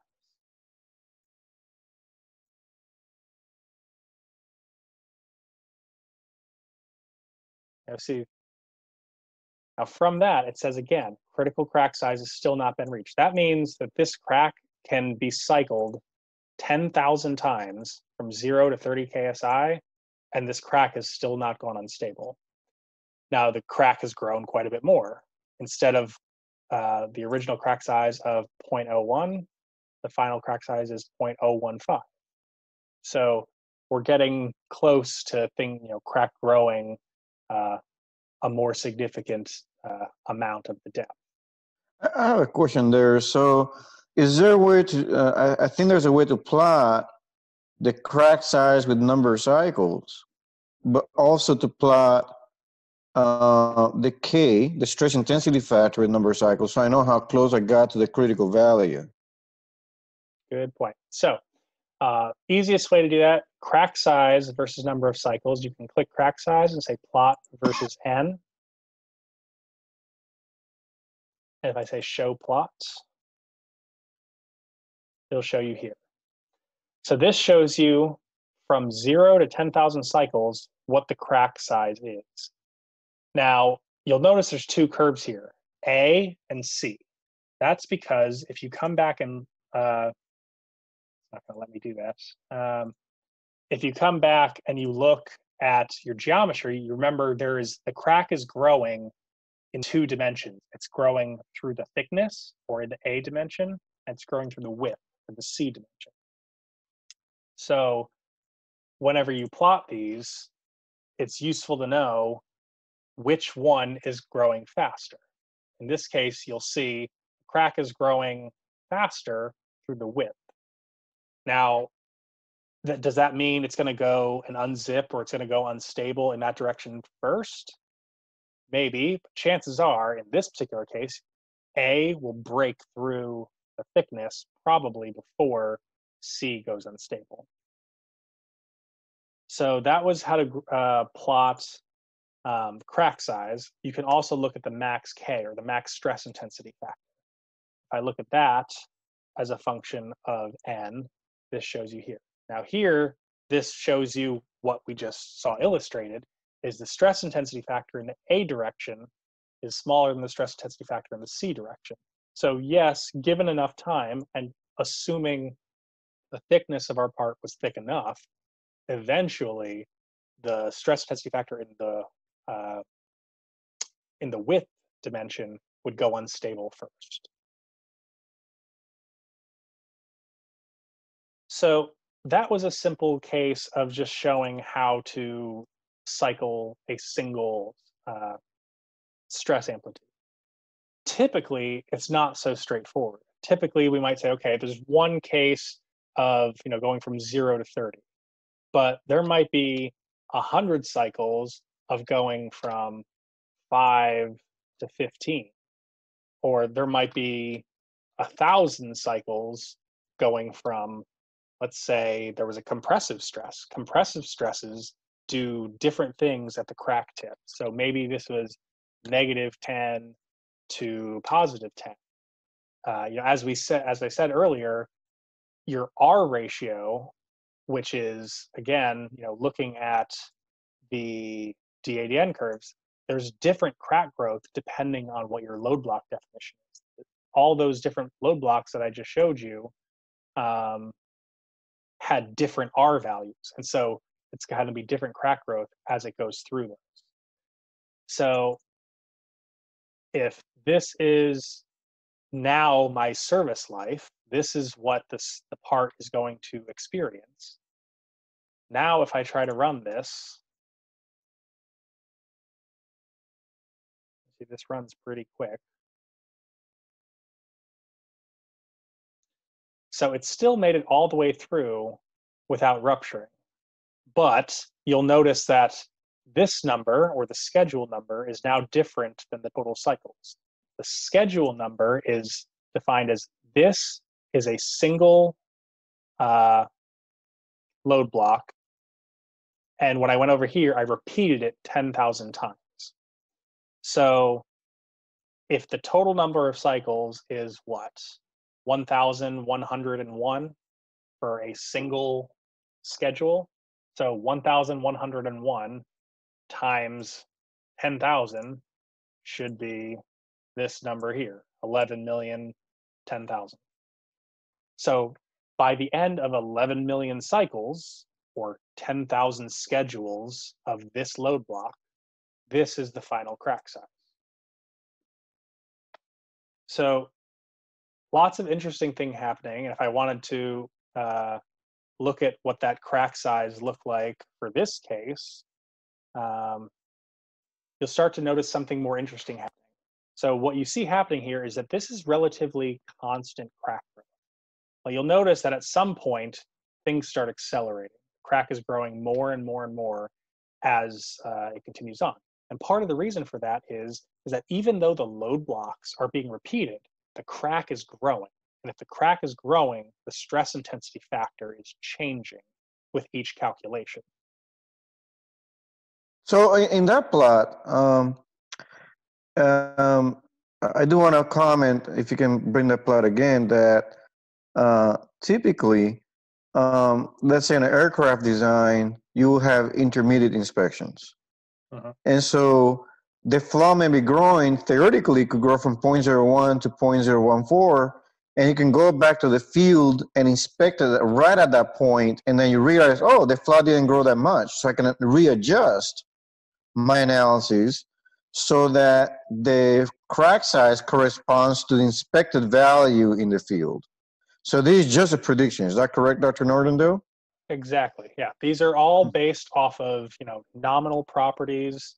Um, it, it, it's standard in fracture that in fracture analysis that you apply uh, what's known as a scatter factor to your results because the results are so uh, in, they're so heavily influenced by the input properties that the tiniest changes in like those values of C and N can drastically change your results given enough cycles. And so that's why typically if you know what the service life is, you typically have to analytically show that you can survive several times that schedule just for a typical baseline design. But yeah, and, and Dr. Norton, I want to point out too that that factor can vary from industry to industry. Agreed. So, for, for example, in the uh, launch vehicle industry, the factor could be differ from the aircraft industry. So, as you go through this, it's important to understand the requirements for your program, or whether you're working on aircraft, and what are the assumptions that you're using for that particular particular design you're analyzing. Is that correct? Exactly right. So, um, yeah, it, it's very important that uh, you understand not only uh, what the scatter factor is, but like you said, uh, the initial flaw size. You know, I kind of mentioned at the very beginning of you know how do you decide what the geometry of your flaw is, and I mentioned that typically it's one of two things: either you're analyzing a flaw that was detected, and so you know the size of it, and that's what you analyze to, or you are assuming that flaws exist in your hardware at a smaller size than what you can detect depending on your detection methods. If you're doing an x ray, standard x ray equipment has a resolution that goes so fine. And if, you know, luckily I have the newer version of NASGRO, and so I can actually look up what some of those are. Um, if I were to do uh, dye penetrant inspection, dye penetrant per NASA standards has actually said the smallest flaw that dye penetrant can reliably detect is a 0.025 deep uh, flaw that is uh, 0.2 in the A over C. So that is the smallest flaw that that method can reliably detect. So that means you have to assume that there are flaws smaller than that that exist because you can't detect it any more reliable way. So that becomes what I assume my initial flaw size is. And typically, in, in a lot of uh, industries, we assume that that exists in the worst case location of the part and the worst case orientation. So if you have a, a finite element analysis or a hand calc that tells you, okay, I know what the um, the highest stress or the peak net section stress of my part is, uh, I'm going to assume a flaw is oriented at that location such that that stress is going to open that crack. That is uh, the typical standards uh, across multiple industries that we see in order to perform fatigue crack growth calculations. So uh, another question, Dr. Nordendale, uh, if I didn't have, if, if, if the if the NASGRO version uh, that people may have not may not have this initial flaw option, is it correct that they could go to the NASA 5009 standard, or they can go to some other type of uh, document like an ISO standard that could have this type of information?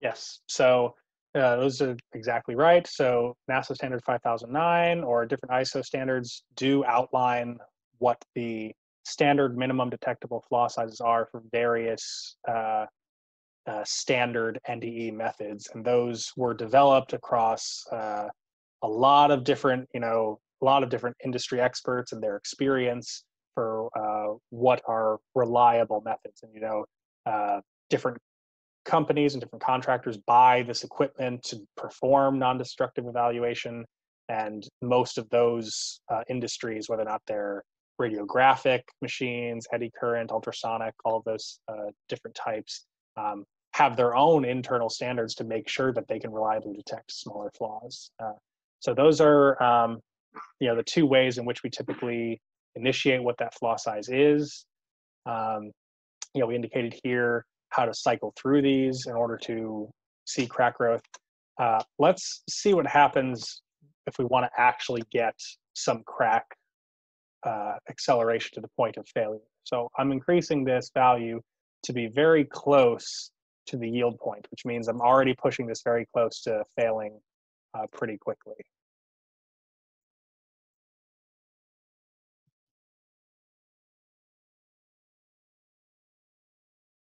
So right there, things change this time. So as you look through this, here are the results. So you'll see it's checking two things, as I mentioned. It's checking fracture toughness criteria, and it says, hey, no failures predicted. But it's also checking net section stress, NSS criteria, and it says failures imminent. So basically what it's saying is because this crack is growing through this thickness, as it it grows to the thickness, this ligament or this remaining material is changing. Now remember, stress is a you know pressure divided by a cross-sectional area. And so what it's looking at is it's looking at this net section in front of this crack. And as the crack grows, the stress is actually increasing. So basically what it's saying is, hey, this uh, this remaining ligament is getting so small, the stress is increasing, it's about to fail. And so the final result is it says right here, net section stress exceeds flow stress. So this, if you were to say, could this fail from uh, unstable crack growth or from strength? The answer here would be strength. This was not a stress intensity factor failure. This was it, uh, basically it was predicting a yield or a uh, ultimate strength failure. And the final results are failed at schedule number 5350 which means it was in the middle of the 5,350th uh, repetition of this load block when it failed. And this was the number of cycles that it survived. So if your boss or your instructor or anyone were to ever ask, how many service lives can this part safely uh, survive, or how many safe lives does it have? It's this number minus one it safely got through 5,349 and it failed on the 5,350 cycle or, or of uh, repetition of that uh, service life. So that, and then we will apply the factor of safety or some sort of some sort of scatter factor to that number, right? To that particular number.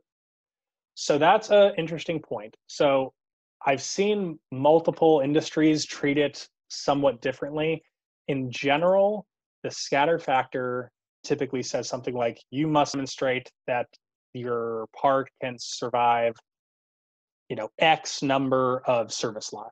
Maybe it's two service lives maybe it's four maybe it's ten maybe it's somewhat larger number. Uh, to me personally the most straightforward way of comparing this is saying let's say uh, i needed to survive 10 iterations of my service life the easiest way to deal about that is say five 5350 is greater than 10 instead of trying to do a division of uh, it's not so straightforward to write a margin of safety. The reason is because fundamentally a margin of safety calculation is a extrapolation of how much capability you have left in a linear sense. But we saw that if I look at, uh, let's say, max k, I plot that versus n, this is not linear. So I can't, you know, saying I have margin of safety if, you know, for this particular case, if uh, I were to go and calculate this as, you know, um, you know, 5, 3, 50 divided by 10 minus 1 is the standard margin of safety calculation, then this would imply, okay, I have 5,340% margin. But this plot right here shows different because that would imply I have that much capability left at that same level, which would draw a straight line across here. But as you get closer to the end of life, things rapidly deteriorate very quickly. So um, my personal opinion is it's much more straightforward to simply you know report these numbers as either uh, exceeding or being less than your required number of service lives. So 5350 is greater than 10x, then it's past the requirement. If the requirement was, you know, 6,000 lives, this is less than that. And so you'd say, okay, it doesn't pass the requirement. So that's uh, kind of a quick run through of all the minimum uh, steps in order to get a NASGRO run through. Uh, all the rest of these options here, you can do things like this. Um, so hmm. right here, what I just did is I said, hey, tell me what the actual, in a tabular form, tell me what the maximum K value is uh, as it cycles through. And you'll see here um, two columns, K calculated in the A direction and the C direction. You'll see right now, this is what? Uh, you know, 4.7, 5.3. And as the crack grows, these numbers grow. Your stress intensity factor goes up as you cycle through. So it's the same data. It's the same data as the one that we plotted, but in tabular format, right? Correct. Okay. Yep. And you know, same thing. You can look at your crack size um, as well. It's going to show a similar trend. Your crack size accelerates as it moves through here. Now, you know, uh, if you go to your textbooks or your uh, online references, um, they're going to basically break down your DADN curve into three regions. And those are basically division, I was going to look at just the blue curve, something probably starting around here is where you have zone one. You have some, uh, uh, basically some crack initiation region where it's starting to grow. And then from here to the end of the linear portion, that is region two. And that is sometimes referred to as uh, the linear crack growth region. Some people call it the Paris region, where it follows Paris law, which is DADN equals C times delta K to the n power, which you should know is just a line in a log scale, uh, where C is the y-intercept of this graph, and n is the slope. Once you get above uh, K1C, that is when you have gone unstable. That's when you get into zone three, which is unstable crack growth. So that's when, if you ever see unstable crack growth, it's basically saying, hey, this thing is getting away from you. It's going to unzip at that point.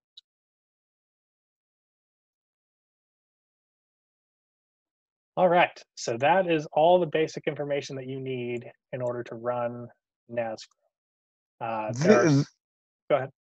I was going to thank you for really going through everything here and providing uh, your expertise so everybody can learn. Um, and I hope that from these exper- examples, you have learned how NASGRO can be used successfully to solve uh, fracture mechanics, flaw growth types of analysis.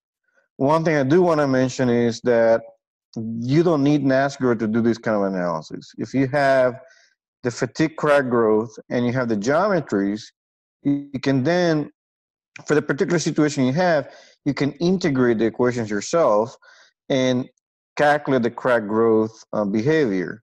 But this type of software makes it more handy because it has all the intelligence built in so that you can then use the software and leverage it for your application. Uh, finally, this software um, has been developed by um, SWRI, and you can uh, get it from them as well. But the primary thing here is that as any software, it is sort of a black box. So bad input, bad input in, bad output out. Uh, Dr. Nordendale, do you have some final lessons learned on that aspect, like using software such as this one in a way that can actually come and hurt you if you use it incorrectly. And then with that, we'll we'll close uh, uh, this particular aspect of this uh, NASGRO uh, tutorial. Yeah, definitely. Um, so uh, one of the things that I uh, learned by you know making simple mistakes and having them kind of come back and be revealed is through test data. So uh, as I mentioned, there are a lot of you know material properties that are here, and very small changes in any one of them can drastically impact your final result. So, uh, you know, whether or not you use nominal or average properties, or whether or not you use some type of statistical uh, minimum like A basis, B basis, S basis, some you know minimum three sigma properties in order to protect you from uh, that statistical variation uh, will drastically impact your solution. Uh, there are cases where um, using minimum properties might tell you you can only survive a minimum number of service lives, but in reality, you can survive far more because you have safety factors to account for those. So it's important as engineers to think about what your safety factors cover you for. In a lot of fatigue crack growth, we apply scatter factors to the number of service lives that you have to demonstrate you can survive. And that scatter factor is particularly to cover the material variability. And for that reason, it's typical in multiple industries that you actually use nominal or average properties in your fracture instead of minimum properties. So that was a lesson that I had learned uh, uh, pretty early on. Um, other lessons um, that were actually really uh, useful, I'll, I'll, just kind of mention it really quickly. Um, one of these, I think SC04, this was a case that I had learned um, early on. So this is a surface crack in a, uh, you know, like a pressure vessel, a hollow cylinder.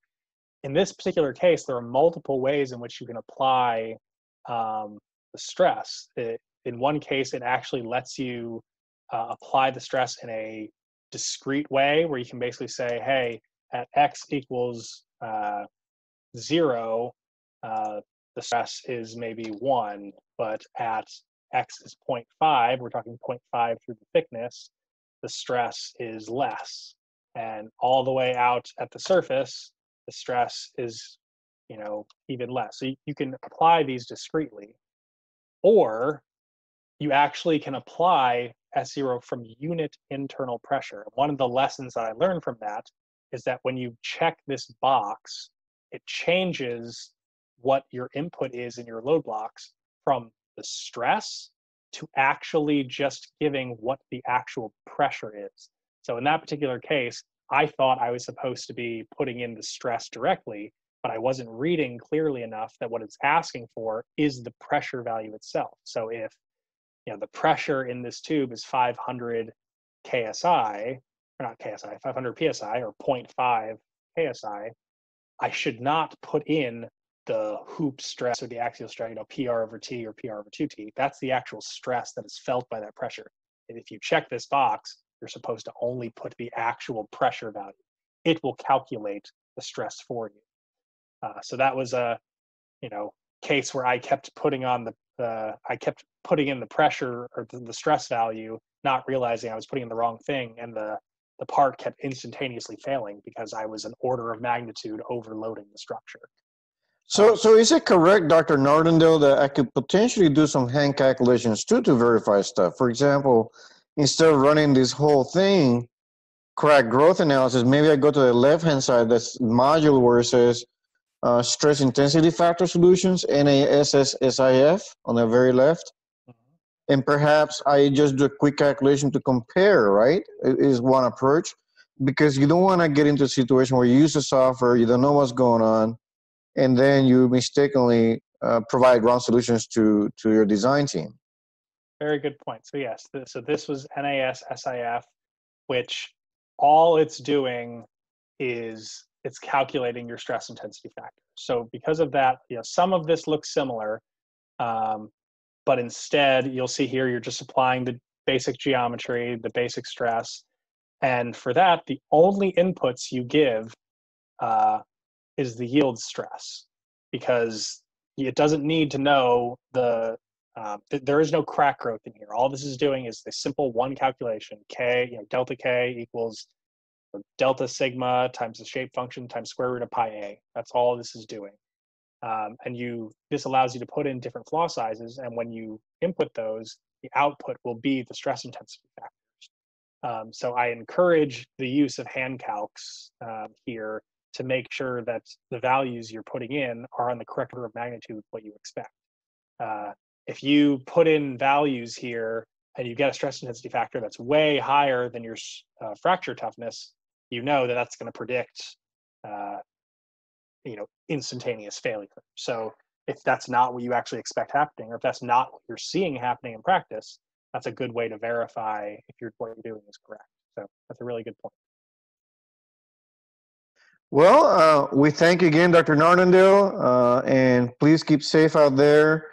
Uh, and uh, we will continue with uh, the finite element tutorial on how this could be applied for fracture. So thank you very much, Dr. Nordendale, and have a great night. Now we're going to go, now that we went through the NASGRO tutorial, I would like us to go through the finite, finite element demonstration uh, with LIFU. And then at the conclusion of that, um, I hope that uh, you learned something about fatigue and that uh, is clear to you uh, how this could be applied in practicality. Um, through some problems that you'll be working through, uh, I think uh, we'll try to connect those uh, areas for you. But for now, enjoy the Abaqus tutorial. Hello everyone, welcome to Finite Element Method tutorial.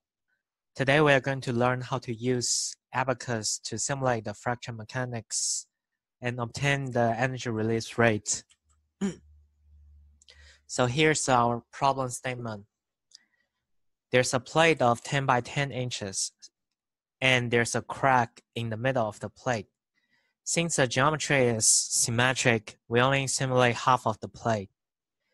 And the half crack length is 0.1 inches and the thickness of the plate is 1 inches. Material property is 10 megapsi and Poisson's ratio 0.3. The plate is under tension of 2000 psi on the direction at the direction of the mode 1 crack opening. And we're going to use two methods to obtain the energy release rate. First, by the J contour integral. The second method is by the strain energy derivative. So we roughly estimate the derivative as the uh, by adding a small change of the crack and then compute the deviation of the strain total strain energy. And let's see how do we apply the Abaqus analysis. Create a part 3D shell uh, plate. So total length 20 and half of the thickness. So it should be 0 minus 5 to 5, 5. So this will give you a 5 by 10 uh, plate. And material property is uh, elastic material property, Young's modulus 10 E6 uh, psi, Poisson's ratio 0.3. So assign the section, shell element, and then hom homogeneous, and the thickness is 1 inches. And then assign the section. We don't need to create set down. Assembling create an instant independent and now we need to uh, create a crack in the plate and also for further uh, for better mesh the plate we need to partition the surface. Use this tools and select the right edge. And before we actually did that we can create some point here First point is this point. Second point is this point. Now we can create a construction line for later better to do our draw our sketch. One is horizontal, one is vertical. Now we can draw our crack. Our crack should start from the very left end and extend by amount and use the dimension tool to control the length. This should be 0.1.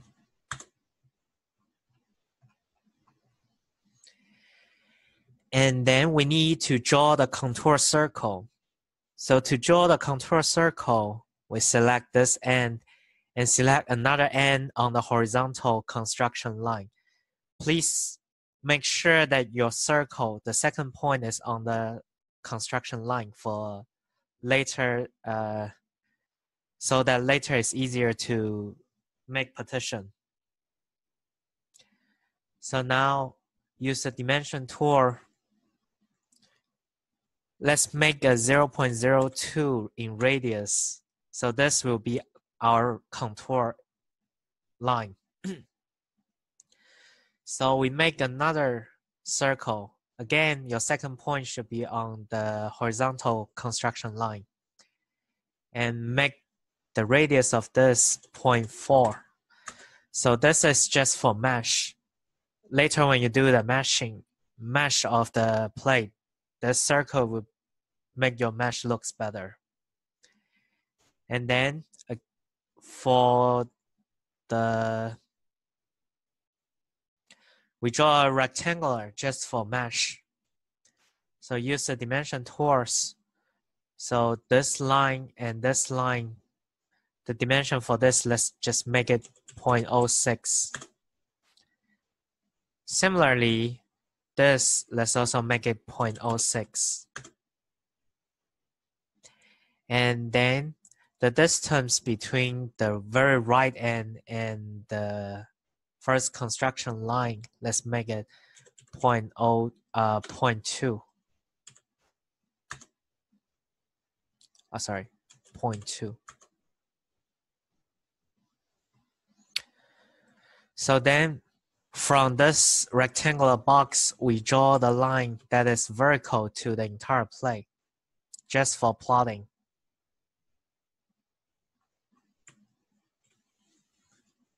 All the way to the end. You sh it should show a V here, means it's vertical.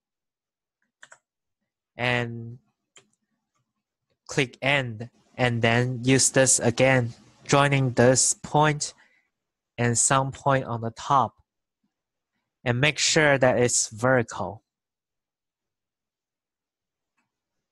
Once it's done, you should obtain some geometry like this. Uh, sorry, I haven't finished the sketch. So if you want to change your sketch, uh, go to your partition, assembling, features, partition, select sketch, and then one thing we haven't done is we need to finish this line from the center of the circle all the way to the end of this line. And since you create a thing, you can right click the features, click regenerate, you see that the circle was cut into half. And this is the shape we need for assembling. Then the step, we create a step of general static. The increment, we can do just 10 increment and increment size 0.1 and make it fixed.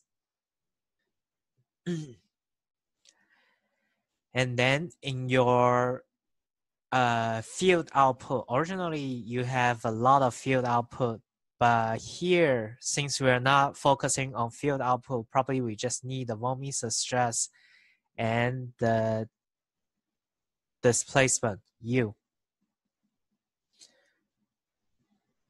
History output is what we need. So we can create a history output here, which should be related to energy.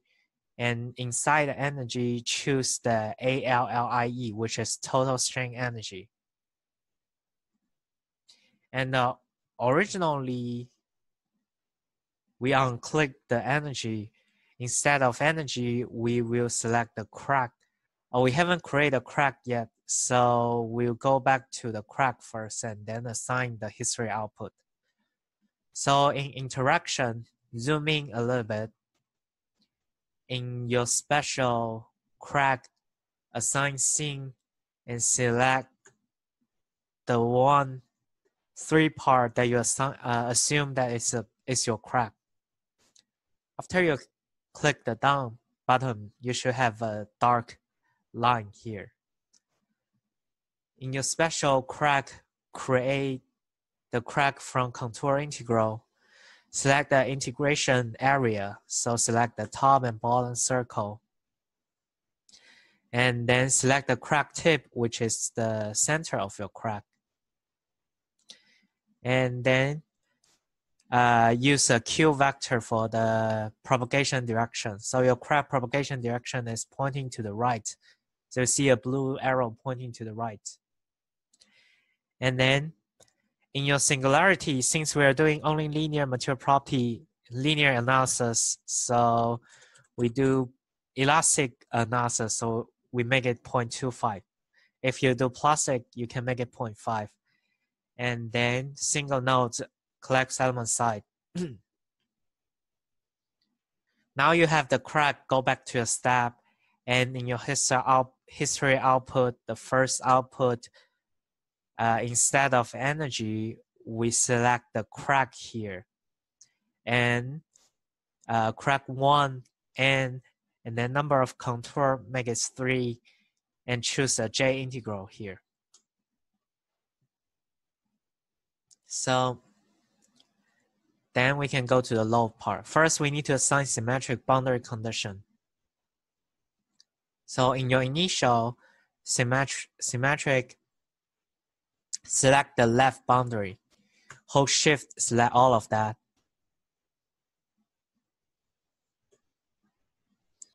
And select the X symmetry.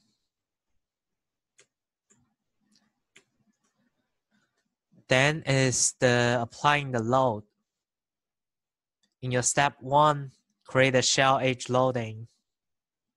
Select the top surface. Uh, we can use the biangle and then select the bottom and the top so that you don't need to select four part. You just need to select two parts. And the magnitude, since the shell edge loading is kind of the same as pre, uh, uh, the pressure, so if you want tension, you need to enter minus 2000 here. And the traction is defined on the undeformed length. If you see the arrow is pointing outside the plane, then it's okay. Then it's good. Then go to the mesh part. So first select this three region because this three region is just rectangle. So you can assign that as structure. And uh, and then select the this four region. This four region are all circular region. So we can assign that as sweep. And the rest is the red region is actually between the circular and rectangle. So you cannot use either stru- structure or swap for that. So we just leave it free. Now assign global seed. Global seed we put 1.1 inches long. We can see the seed for the circle is too coarse because near the crack tip we want it to be very accurate and more element. So we assign use by age angle instead of individual. and then choose the outer circle and the inner circle. And select by number. Instead of 4, we actually make it 10. So it'd be way finer here. Also select this, uh, instead of by angle, let's change it back to individual now. So select this portion, hold shift, this portion, this portion, and this portion. This four portions should be at the same length. And we can make it by number and change it to five. So that near the crack tip is pretty fine. Now we can draw the mesh. You can see near the crack tip and around the crack tip is actually has way more element than outside the region. So now we can go to our job and call it plate one and submit.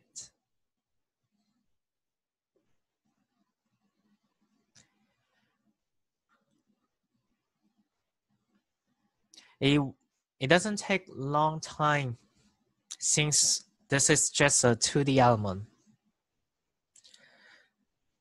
So while it's running, we can go back and change our model. As long as you see the input file was written, then it's good to change whatever you want. So now go back to your features, partition face and sketch. Now we need to for the second method, we need to increase the crack by 0.02 inches, which means uh, the value we enter here instead of 0.1, we, we can delete that. Uh, oh, we actually can select that.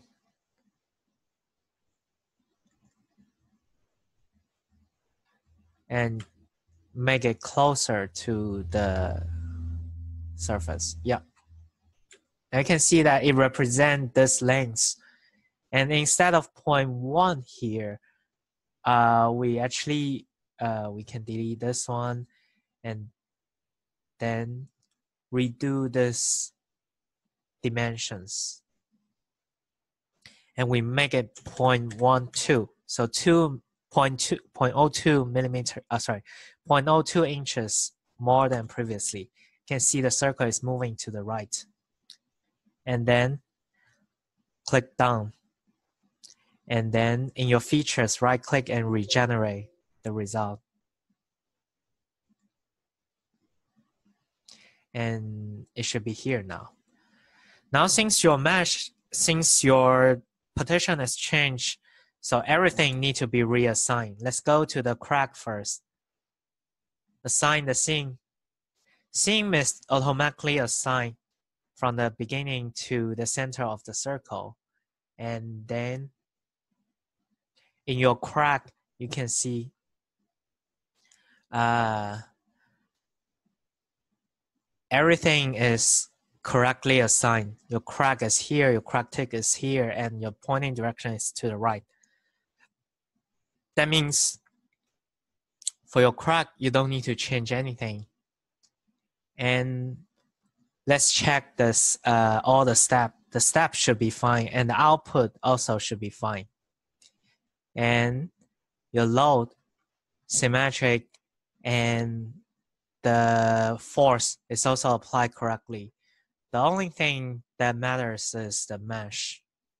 So you need to assign the mesh again. Now it moved to the right a little bit so everything is fine. Go to your job, create a new one, call it plate two. And then submit the result. And now we can see the plate one result. Let's see the stress first. Von Mises stress. You can see the von Mises stress distribution, the stress concentration area, the butterfly uh, shape of stress, and the crack opening. You can see here is still a little bit coarse. If you wanted to looks better, you can make a finer mesh for this part. Here I just want to save the end computational end power. So if you feel like your result offset a lot, you can make it finer. So to show the result, go to your XY data and create a data from the history output. You can see that we have the J integral here and we're doing mode one here. You can see the J integral. And to see the value, we can use the query and then probe uh, value. Select the ending point, which means the our value for the J integral is around uh, 0.113 here. If you make the mesh finer, I think it will closer to 0.12. and let's see from the other from the other direction if you see the energy what's the result so here you can see the energy total energy. Again we use a probe value for that. And it gives you 10.0061 10.0061 uh, we just use calculator to remember that value. Now we can see, go back to see the one that is has 0.02 inches increment in the crack. So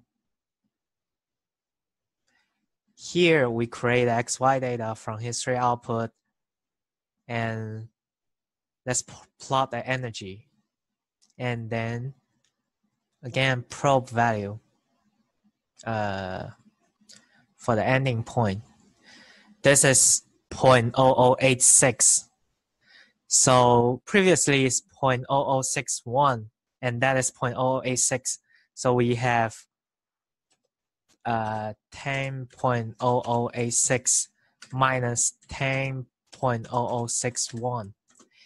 And this value divide by, according to the formula, divide by the increment of the crack, which is 0.02.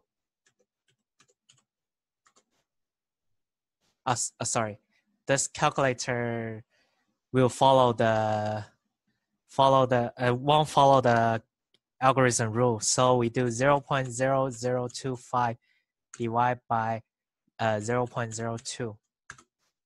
So it's 0.125. So it's very close to the previous one. 0.125 should be a correct value. So, but our J integral is a little bit offset. So let's see if we find the mesh, whether we can change it back or not. So go back to assembling as I the same as what I, we did before. Uh, here, instead of 0.12, uh, we delete this one and redo this dimension. Change it, change it back to 0. Uh, 0 0.1. and regenerate the features. And in your mesh, uh, you can see that it's not mesh now, so just mesh it. And we want it to be finer for all the region that is around the crack. So for left and right, we can make it five of that. And for top and bottom, sorry, top and bottom,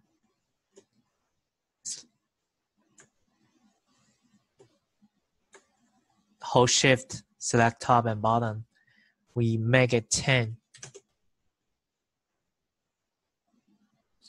And for the middle, for this one and this one, we make it 5 or even 10. Uh, just leave it 5. Now we can do the mesh. Now it's finer to previous one. You can see how much it can improve your result. So go back to your job and create another one called plate three. And then submit that.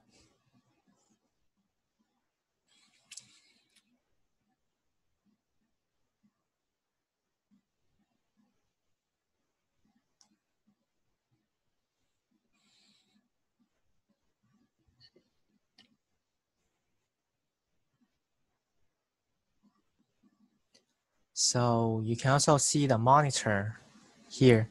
Monitor start from 0.1 and suddenly go to 1. So it's very fast for this analysis. You can try different mesh. So now if you see the, the hole, the opening is more natural, like it follows a natural curve, not like previously it's kind of digitized. So if you see XY data, from the field output, oh, sorry, from the history output, and J integral for the first one, and use the probe value for that. You can see 0.1247 is very close to the energy derivative result, which is 0.125 you can even make this more close to whatever you uh more close to the actual solution by finer the mesh.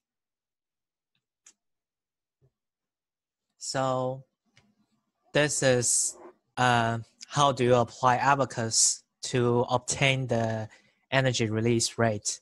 Hope that you can, we compare the J integral method and the strain energy uh, deriva uh, derivative method and both of them shows the same result.